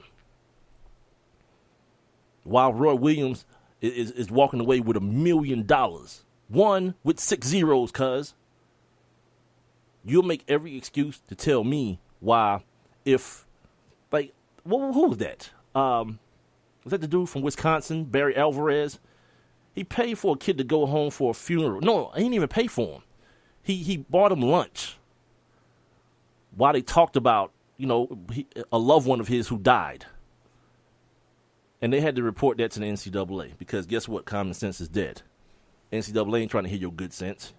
You're ridiculous. And that's what every time I know sometimes people who who've heard me speak on radio, the the two people who have before now, I know it it could it, be, it could become it could become redundant that every year around this time, championship in football, I'm, I'm bringing this up, but I do that about the things that I don't think enough attention is being paid to, and I think smoke screens get get get put out in front. Like, yeah, you know, how how you gonna pay everybody? No, that's not what I'm talking about. At the at the very baseline of everything, don't tell like don't tell Buddy Hield or Ben Simmons that his name and his likeness have no value. When when I turn on ESPN and they go to the promo of the game of the LSU versus Kentucky game, guess whose picture I'm looking at? Ben Simmons. That's his likeness. So obviously ESPN and their advertisers, they see value in his image. I remember speaking of you know uh, Jen brings up Georgia Tech. Uh, uh, a young man who um who I who I knew named uh, Roddy Jones. He used to play running back for uh for Georgia Tech, and I, I, did some work with his dad, like training kids and and getting kids you know ready to play football and coaching the little kids at the at the park level, and um the team that I was coaching was the Georgia Tech Yellow Jackets. So I was going online looking for like little trinkets, you know, stickers or whatever for the helmets and you know things to reward the kids with when they did a good job and I ran across a picture of Roddy Jones for 20 bucks.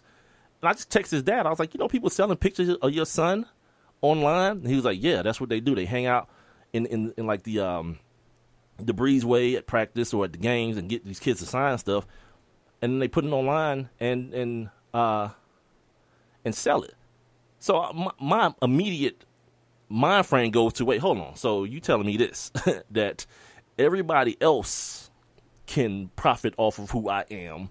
But if I do it, if I'm AJ Green and I do it, or if I'm Todd Gurley and I do it, you taking away my season. Man, get your ass out of here, man. that in no walk of life anywhere does that make sense.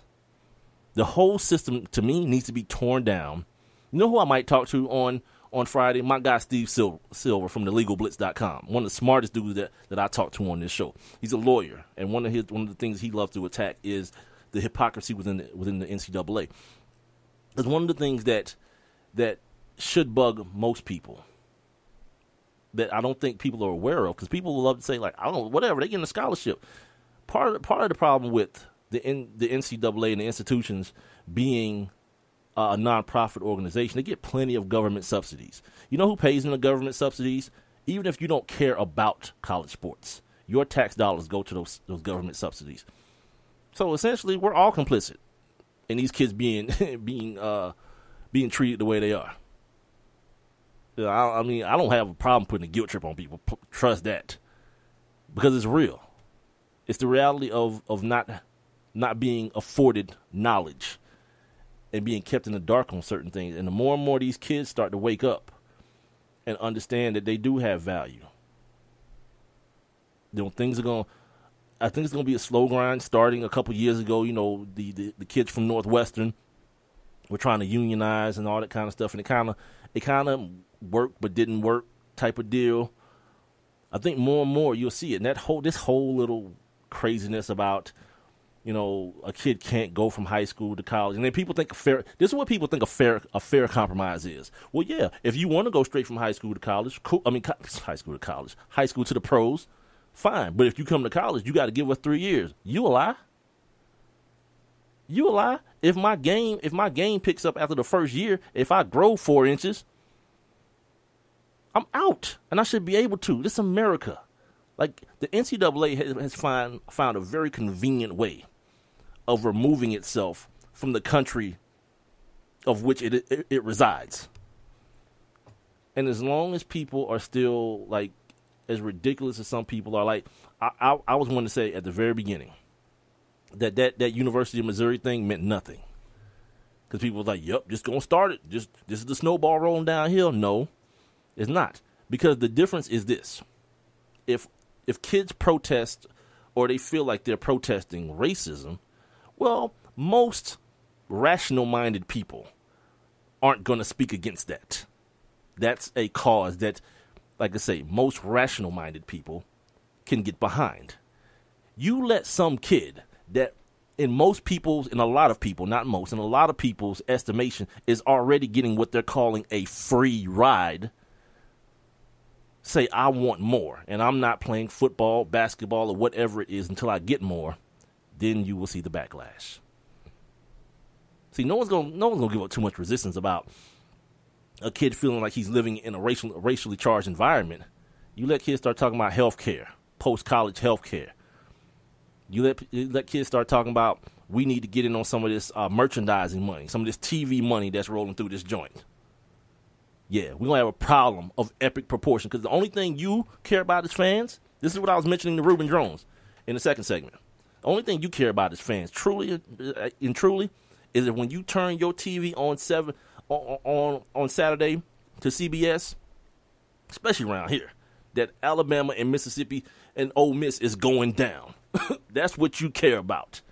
Everything else pff, is all window dressing, man. You know, people care about the things they feel like they should care about. they don't want to feel like they don't want anybody to know they're really bad people. You are. people are bad people. I am. I admit it as much as I possibly can. This is the One Mic with Big Mike podcast, being heard every Monday, Wednesday, and Friday via uh, Spreaker.com and the app, as well as on my website www.1mic W I T H B I G M I K E. Just scroll down to the bottom of the page. You'll see the player down there. I'm streaming live right now. You guys can jump on in the live interactive chat room by clicking on the little thought bubble and uh, letting your thoughts be known on whatever subject matter I'm, I'm tackling right now. My social media information is also there. There's a social media tab on the website so you guys can follow me on Twitter and like my Facebook page and all those good things as well. Um, where I leave off at? So I heard Colin Cowherd talking about how the um the, all the things that the players get, the food and and all these things, and like I, usually have like very quick responses to things like that, and in this case, it's no different. Yeah, because guess what? Master had to feed the slaves. It was in his benefit. They didn't have to get good food, but the slaves still had to get fed because it was in his benefit for them to not starve to death. you know what I mean? So to tell me that a kid at the University of Alabama has the best weight room, well, guess what? Guess what you're using to get the next crop of kids? You bring them in, you show them your nice weight room, you get kids assigned there.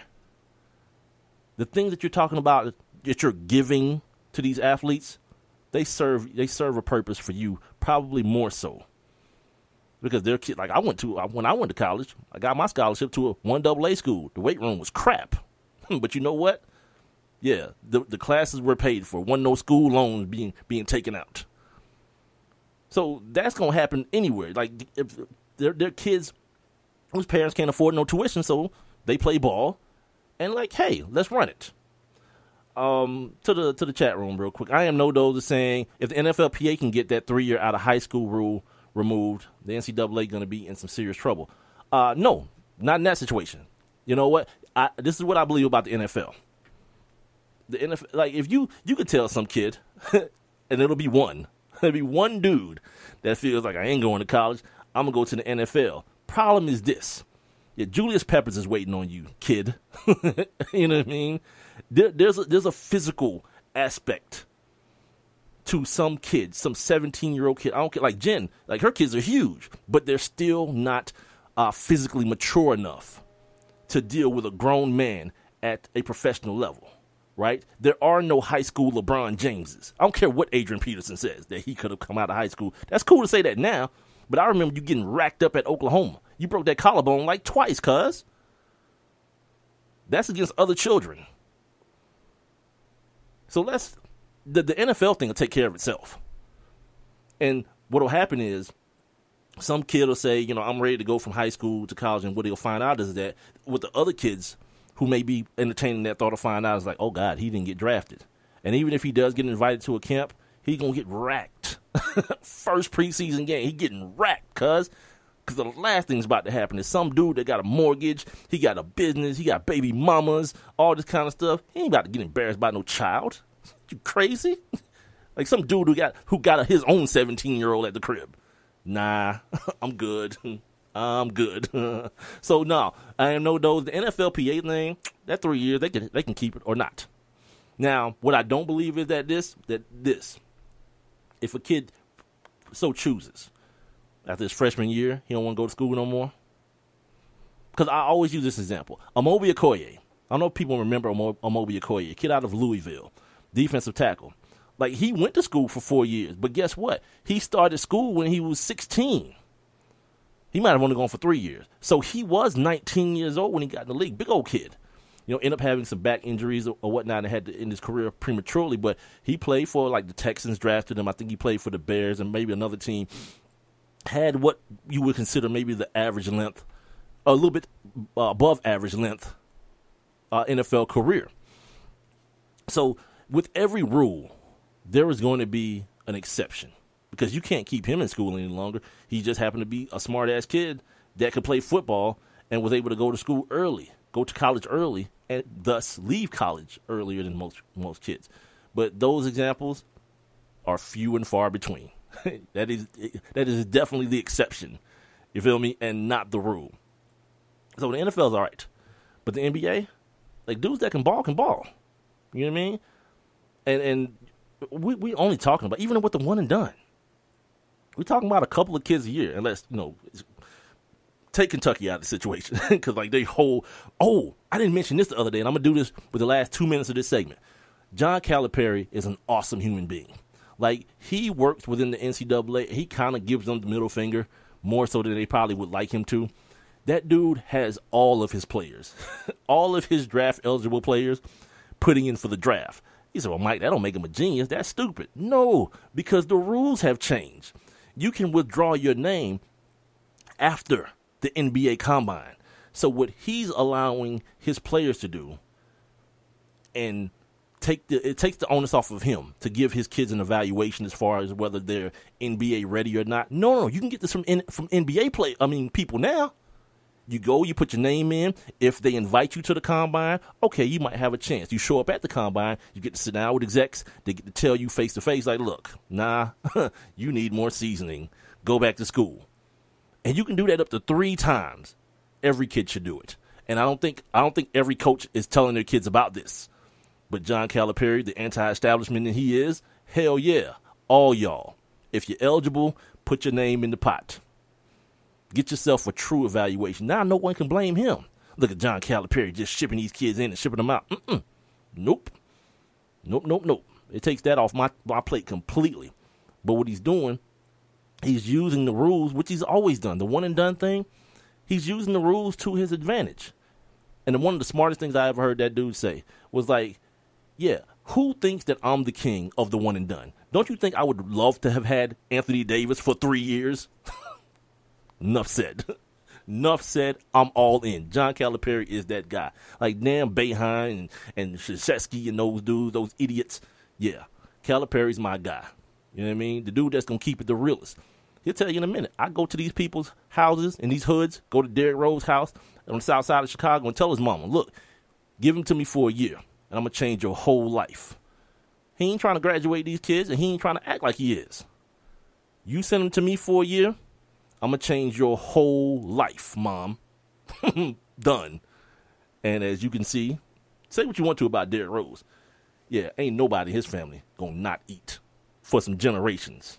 So there's that. I'm gonna come back and um of course I gotta talk about D'Angelo Russell. I didn't want to leave the show off with it, but I feel it is my duty, my professional duty to go ahead and, and address the situation and try to give some additional perspective than than all the ones that are being shared via the meme on social media and the things that are be, being said on other uh, sports talk shows and things of that nature. It's one mic with Big Mike. I am Big Mike here with you for about another 30 minutes. Being heard on Spreaker.com every Monday, Wednesday, and Friday at 7 o'clock. Make sure you guys are spreading the word, and I appreciate you telling your friends to tell a friend. Uh, also, you can join the live interactive chat room by going to my website, www.onemicwithbigmike.com. Scroll down to the bottom, you'll see the player. There'll be a little thought bubble dancing around that joint. Just click on that, and it'll take you to the uh, live interactive chat room. You can join the join the show. Call me an idiot. Call someone in the chat room an idiot. Whatever you want to do. I'm I'm pretty much a free flowing guy. So I'll be back. Attention men under the age of 35. You know what really impresses the ladies? When a guy has a few drinks and later gets pulled over for buzz driving. That could cost you around $10,000 in fines, legal fees, and increased insurance rates. There goes let's grab dinner and a movie. Oh, I know. You drive more carefully when you're buzzed. You've proven that hundreds of times. A woman admires that kind of confidence. And you've practiced how to speak if a cop does pull you over. Slowly, clearly, and politely, like, Good evening, officer. A woman admires that kind of foresight. And what woman doesn't find it adorable that you call it buzzed even though the law calls it drunk? You could kiss $10,000 goodbye, along with any chance of having a girlfriend. Because nothing says, I'm a catch, more than a guy who lives in his parents' basement and calls it my place. Buzzed, busted, and broke. Because buzz driving is drunk driving. A message from the National Highway Traffic Safety Administration and the Ad Council. I heard on the news about that five year old who found his uncle's gun. The kid didn't know it was loaded. I heard on the news about that 14 year old girl who was bullied online. For like a year, she couldn't take it anymore, so she got her dad's gun from his nightstand. I heard on the news about that guy who broke into someone's house, stole a gun from the hall closet. He accidentally shot his cousin in the head. She killed herself. And later, killed the owner of the store he was trying to rob. If you own a gun, you have a full time responsibility. When you aren't using it, be sure it can't get into the hands of curious children, troubled teenagers, a thief, or anyone else who might misuse it. Your family, friends, and neighbors are all counting on you. Remember, always lock it up. For more information on firearm storage safety, visit ncpc.org. This message brought to you by the National Crime Prevention Council, the Bureau of Justice Assistance, and the Ad Council.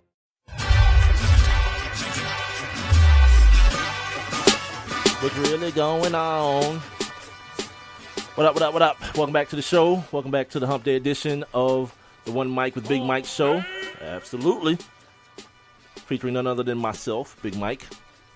Here with you for about another, I guess, 27 minutes or so. Uh, look, today is Wednesday, man. It's one of my favorite TV watching days, man. If you guys haven't been checking out, uh, what's the John Legend situation on WGN Underground? Uh, Underground. Um, it's, it's a slave. It's about the Underground Railroad, not like underground rap. It's about you know, runaway slaves and, and so forth. Yeah, it's pretty. Um, it's pretty good. Uh, I'm not really a fan of the of necessarily the writing, but uh, the story in and of itself, you know, I, I put this way: I've seen better slave reenactments, but yeah, it, it's cool. You know what I mean? So if you guys get a chance to check it out, y'all run around checking out OJ, the OJ miniseries or whatnot. Give give that old give that underground situation a spin, man. It's on WGN. I think it comes on at like ten. Yeah, I think it's at ten because I'm usually done with this here at um at nine. So like yeah, ten o'clock. Also Blackish on tonight. What else comes on? Something else comes on tonight that I, I like to watch. But yeah, anyway, check those shows out. Uh, One Mic with Big Mike is the name of my show. Appreciate you guys for checking in, taking time out of your schedule to either listen live or if you uh, take time out your schedule to listen via the iTunes app or the uh, TuneIn app or either the Spreaker app or you go to the website www.onemicwithbigmike.com. Um, all the archived episodes are there as well, as well as me uh, broadcasting live right now. If you, let me tell you something. If you missed that Reuben Droughns interview, man, I'm I'm gonna cut that up before Friday's show, man, and post that uh, solo, man, so you guys can check that out. And I also advise you guys, man, if you love football, man, go check out the uh, the documentary when the bright lights fade. It's not even no long hour, two hour situation, man. It's like it's like 13 minutes of a couple dudes, former players, sharing their stories, man, the things they've gone through, uh, regrets that they may have, fears that they may, may have. Like Reuben Droughns, man, like he had a real succinct answer when I asked him about the things that he fears going forward in life, and he's like turning 40.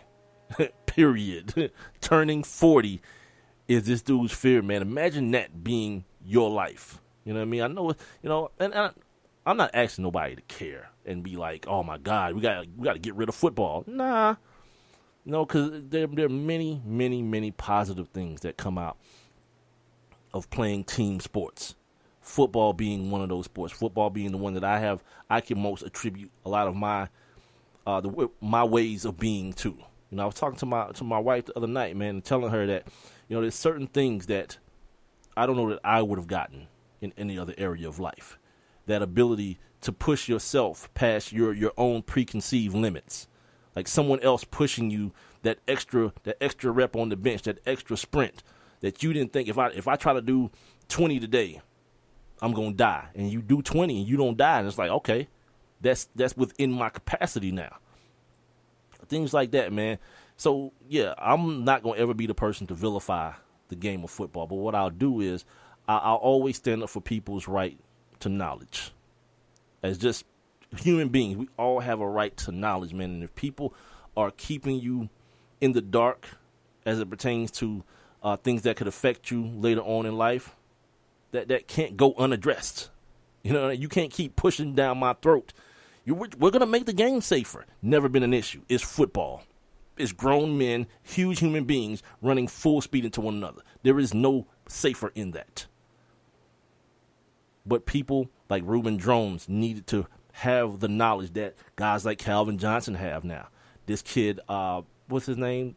Abdullah, the kid that got penalized last year, the Muslim kid that they tried to make an issue of him going to his knees in the end zone after he scored a touchdown. Retired, had a couple concussions this year. He was like, you know what? I'm out. Chris Borland, I'm gone. See, people people become empowered once they have knowledge. And to me, I think that's the NFL, one of the NFL's biggest fears, man. When people who are, for the most part, think about this. Like people like to talk about their baseball and how dignified a sport baseball is and all this kind of stuff. Who you think got the most the most years of higher education amongst the sports? In basketball, you can leave after one year. At the very least. Now I know it's kind of it's counterintuitive to the thing I started to show off with talking about these paper classes, but at the very least, you're on a college campus for three years. I didn't learn a lot in college, but you know what I got? Life experience. I'd never lived around white people ever. We had a couple in my elementary school, a couple in my in my in my high school, but when I got to college, I was I was most definitely a minority, and my team was made up of a lot of white dudes from a lot of different places, and I had to, I had to find find a way to get along. And what I found out was it wasn't that hard. You know what I mean? Like once you once you kind of take down your guard, being this kid from Decatur, once you take down, but which by the way, this is hilarious. Before I went, I saw um, I saw a time to kill the day before I reported to fall camp. the whole ride up there, I'm like, man, one of these white boys gonna make me kill him. I know it's gonna happen. it was ridiculous. I was you know, 18 and stupid, but no, you got to get up there, man. You realize, man, you you make you you you make of it what you get out of it what you put into it when it, especially when it comes to race relations and sports and, and those type of situations so that was part of my education you know what I mean? I wasn't a communications major, but you know what we did? Me and one of my, one of my boys kind of punk, punked the campus radio station into giving us a show. That's where I fell in love with broadcasting. So it's not always about the economics 101 and you know the English 202, the classes. It's the things, the life things that you that you get out of experiencing a college uh, a lifestyle. And as far as the three major sports are concerned, yeah, football players have the most of that. Just saying. So when you start talking about dudes who, at a certain point, might just get it, like you know, let's do this whole risk reward thing.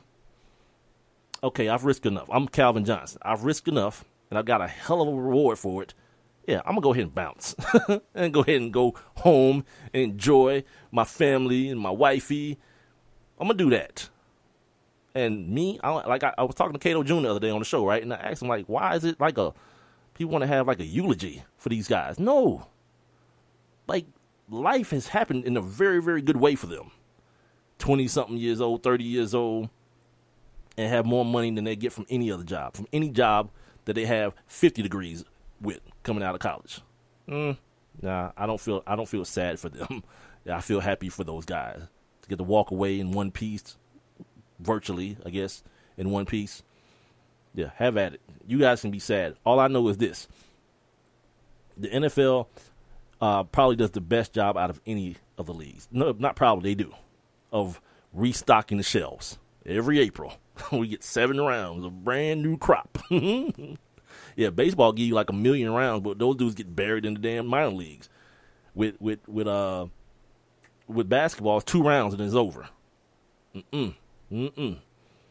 Football gonna give you everything. Then you get the unrestricted cats. Then you got like the supplemental draft. Yeah, Calvin Johnson's leaving, but you know what? I get to watch Julio for a couple more years, him and AJ, and then after that, it'll be a couple more young dudes. Yeah, I'm I'm kind of good. you know I mean? I'll be all right without Calvin Johnson, without Peyton Manning. Yeah, I'm, I'm all right. Plus, we had to spend the last two years without Peyton Manning. Uh oh, boom.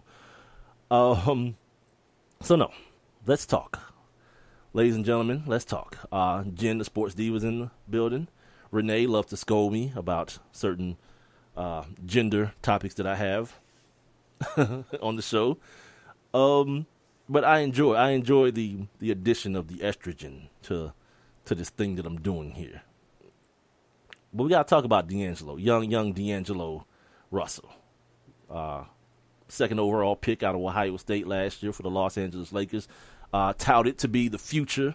Once Kobe Bean Bryant finally says this is well, he's already said this is it, but once it becomes official, he's been touted to be the the future of the organization you know, one of the marquee organizations, them, the Celtics, the the uh, the Knicks, the marquee organizations of the NBA. Well, just recently, this young, recently turned 20 year old man thought it was a good idea to record his partner, is, uh, by the way, 30 year old teammate Nick Young, also known as Swaggy P. Uh, I guess admitting to his female conquest. Uh, problem being that he's engaged to alleged rapper Iggy Azalea, right? um, and some kind of way, I'm just stating this the way it's been stated. The video got out, and fellas, you guys know those those kind of problems ain't the ones we need. We ever need and can anticipate. It puts you in a bad situation. Uh, I, I, don't feel like as though I'm speaking uh, solo in this matter. you know, if you lived long enough, you've found yourself in precarious situation as as it regards as uh, as it is regarding the uh, opposite sex. So your man Nick is in that position, and everybody all day long you know, it's like, oh, bro code. You know, violating. You know, you don't do that, and you know, whatever. And then his teammate. this is the funny part. His teammates don't even want. Ain't nobody talking to this dude, right? Here's my thing. Here's a couple of things because I try to always view things from a couple of different perspectives, and in this case, I want to kind of see things through the eyes of the way a female would see it, and Whereas a female may initially be like, "Damn, that's cold. He just, he just fronted on this dude like that." I think the second thought may be, "Well, look, if he wasn't cheating, he wouldn't have had nothing to worry about." You know, that's like the woman's way of thinking of it, which which which poses a little bit of a conundrum for dudes. Cause like how how publicly mad can you be at D'Angelo Russell? You know what I mean? Like if you're, I don't know, who else plays on that team? If you're Roy Hibbert, yes, Roy Hibbert still plays in the NFL, in the NBA. By the way, if you're Roy Hibbert, you can't really be around your old lady. Like, man, that's some bull. Man, you just told on that dude, man. Cause then she gonna be looking at you like, what the hell you so mad about? what you doing? So you can't even really go as hard. That's why so many of these dudes, the reports are that they kind of they kind of freezing them out. Nobody don't want to talk to them. They not they not uh, sitting around and he walk into the room. People start walking the other way or turning their back, and it's like real like weird, like high schoolish type stuff. Now, I'm gonna go in this other direction now. I'll come back to this to the angle of the teammates and all that kind of stuff. But I've always wondered this. What is it? Like a dude like that, young dude, 20 or not like that, like like like Swaggy P. That dude's from LA. You his attitude about the job that he does is like I'm getting all I can. It's like he's the dude that knows he won in life. Kid out of USC, born in the Los Angeles area, playing for the home team. He knows he's out there. And for whatever reason, decided he was going to get married? Like, I don't understand that. Like, if you live that lifestyle, what you doing? What are you doing? What you what you in a rush for? Go ahead and get all that out. You know, I, I've got dudes that I know are you know in their thirties in the radio in the radio industry, and uh, they're in the radio industry in a way like this. This industry is like very rarely you have people who will be in the same at the same station one or even in the same city for elongated amount of times. Most people are a little bit nomadish in this business. So to to be holding down a relationship and all these things and moving around and all that kind of stuff while you try to like get your footing in the broadcast industry, it's it's one of those things that it's kind of a detriment to having a substantial relationship. So I would always tell cats like like don't let other people set your timetable. Make sure you're done. Like me, for example, I don't have no need to be. I don't have no desire to be in nobody club. I don't have no desire to be, you know, sliding in nobody DM and all that. I don't have no desire for any of that anymore. Got rid of it all, and now, you know, my old lady is cool with, with you know, she she can be secure in the fact that I'm not no, I'm not still fantasizing about what would be if I was still single. Nope, I'm not. Especially, especially some of the stuff that I see online that you do is getting fooled out here. Mm-hmm. Yeah, you're getting you're getting bamboozled out here in these streets. We'll we'll save that for another conversation. So I don't even understand. I don't understand from the male perspective. If you're that dude, you're this young, free, and loose dude to be like, man, I'm 30. I think I need to be getting married. Damn that. If it takes till 40, do it right. So that you don't find yourself in a situation where you telling this dude that you was banging some 19 year old and she he he recorded and now your old lady got wind of it. Now you're screwed. Especially especially if you're in a situation where you too scared to walk away from it. Like once you get caught up in something like that, a lot of times I'm not gonna speak like in real, real broad terms, but a lot of times you just got to be the one to bounce. Because if, if if not, you you you you leave yourself open to be kind of puppeteered and being on a string, and every time you you on your phone, she wondering and trying to look and trying to grab your. Uh, who got time for that? You know I mean, who got time for all that? But in the same situation, I'm gonna look at the females who get married to these dudes, these ball players and these rappers. Like half the, especially these rappers, they telling you what they doing in the record. And for rap to be the one, you know, music medium that everyone says has to be the realest, you can't rap about it unless you lived it. What the hell is going through a woman's mind that says, you know what I'm going to do? Marry him. Sierra. Perfect example. Right? This is the dude, I don't give a damn if they was real sisters. you know what I mean? He got a line in, in one new song, had my baby mama and my girlfriend kissing. This is real stuff. But you think you you that special that you don't stop him from having that much fun. Whatever you got, whether it be between your ears or between your legs, is gonna stop that moving object. Have fun. E N F enjoy that. You understand?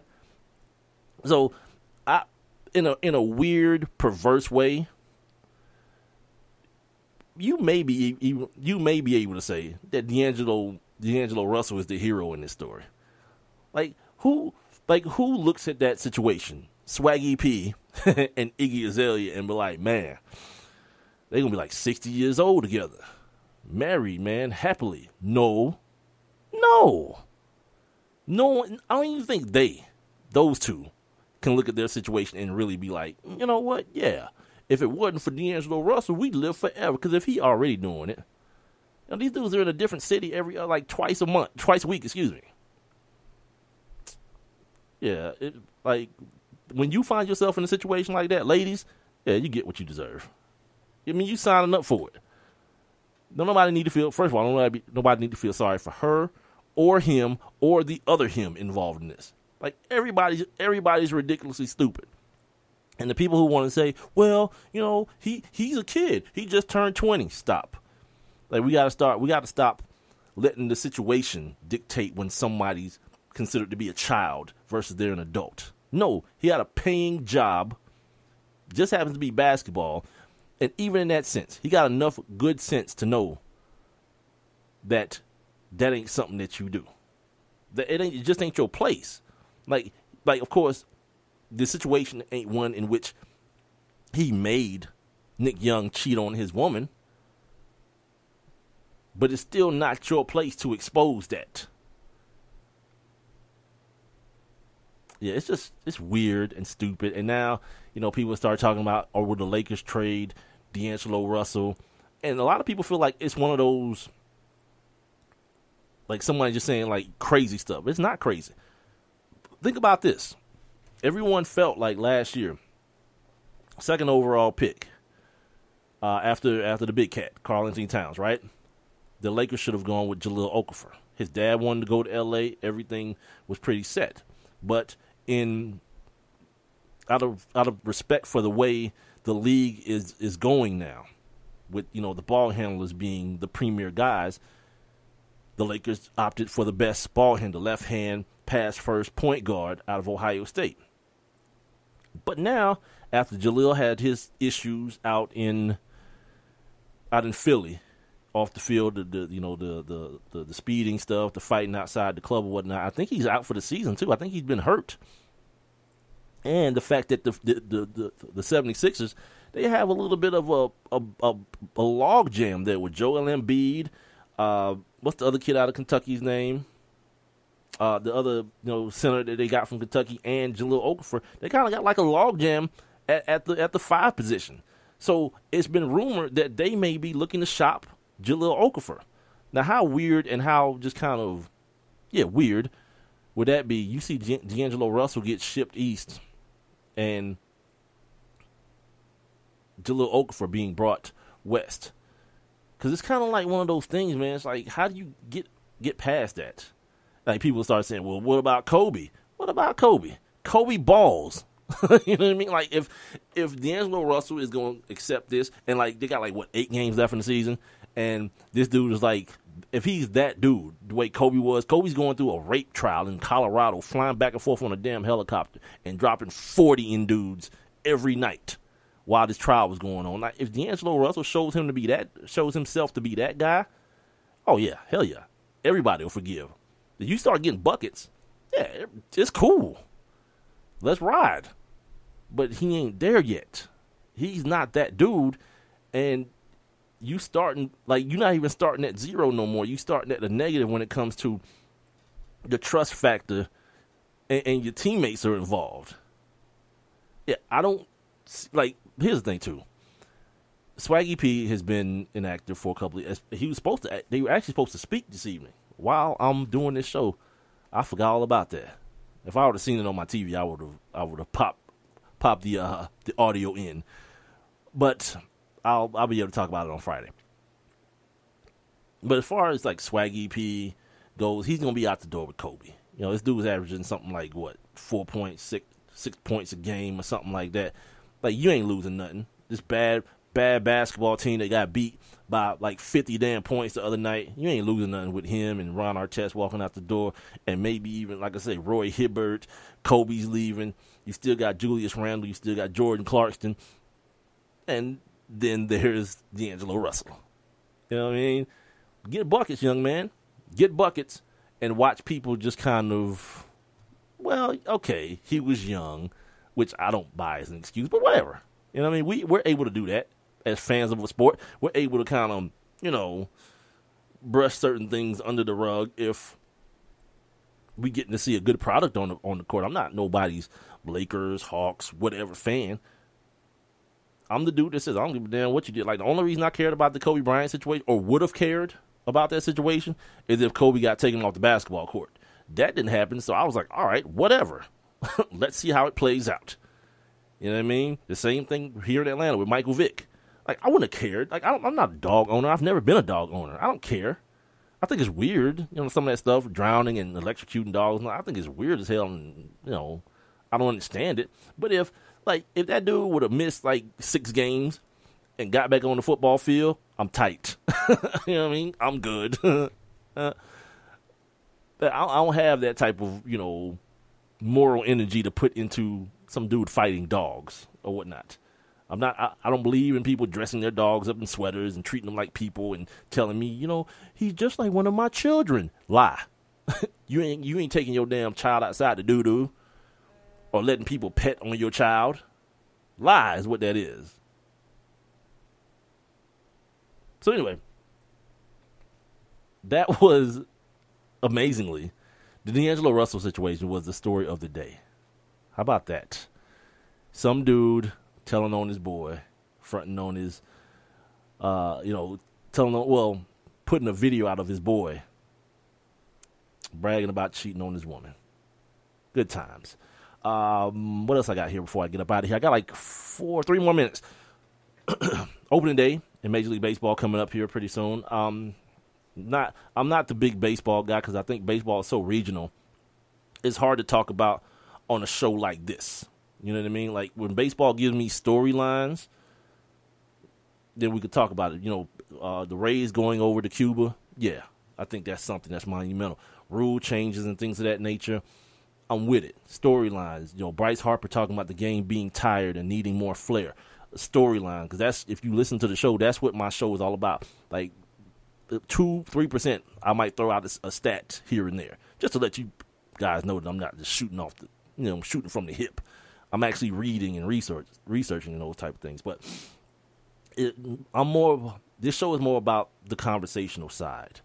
You know, getting deeper, getting more inside of the things that everyone else is kind of talking about on the surface level. And you know, sometimes the attempt may fall short, but I'm trying. Like today with the Reuben Droughns interview.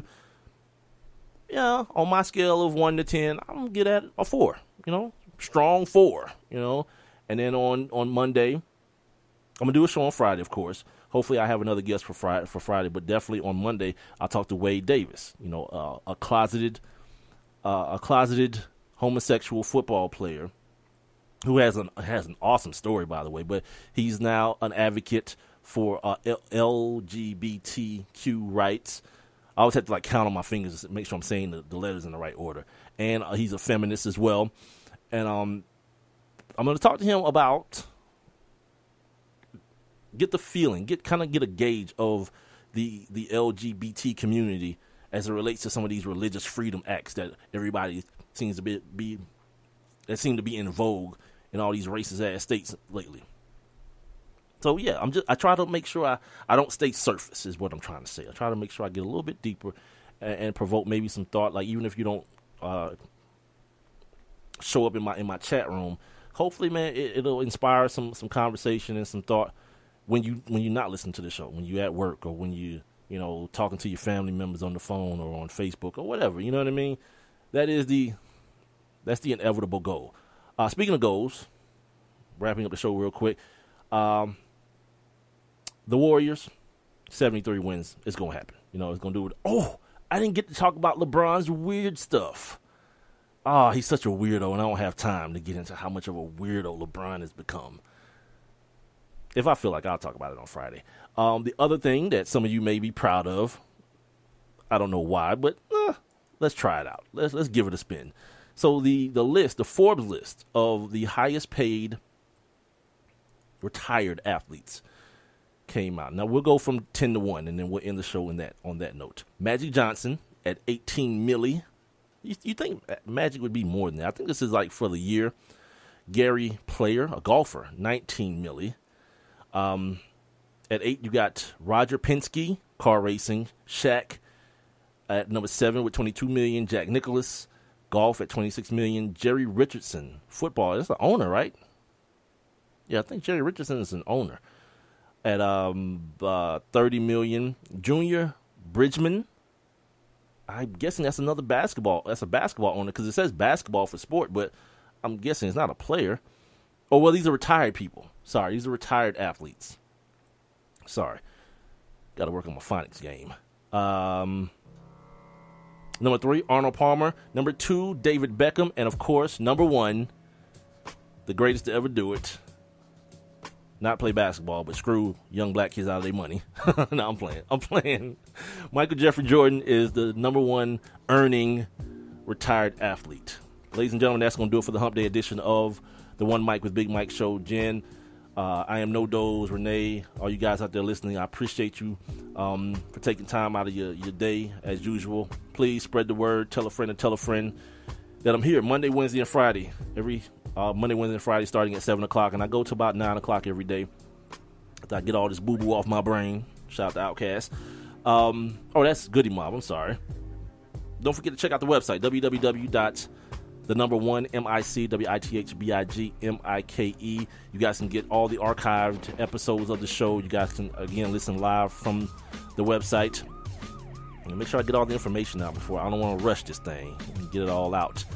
Um, and make sure you send me your emails. Yeah, definitely send me your emails. Mike at one Mic with BigMike.com. You can also take me with you via the uh, TuneIn and the iTunes app.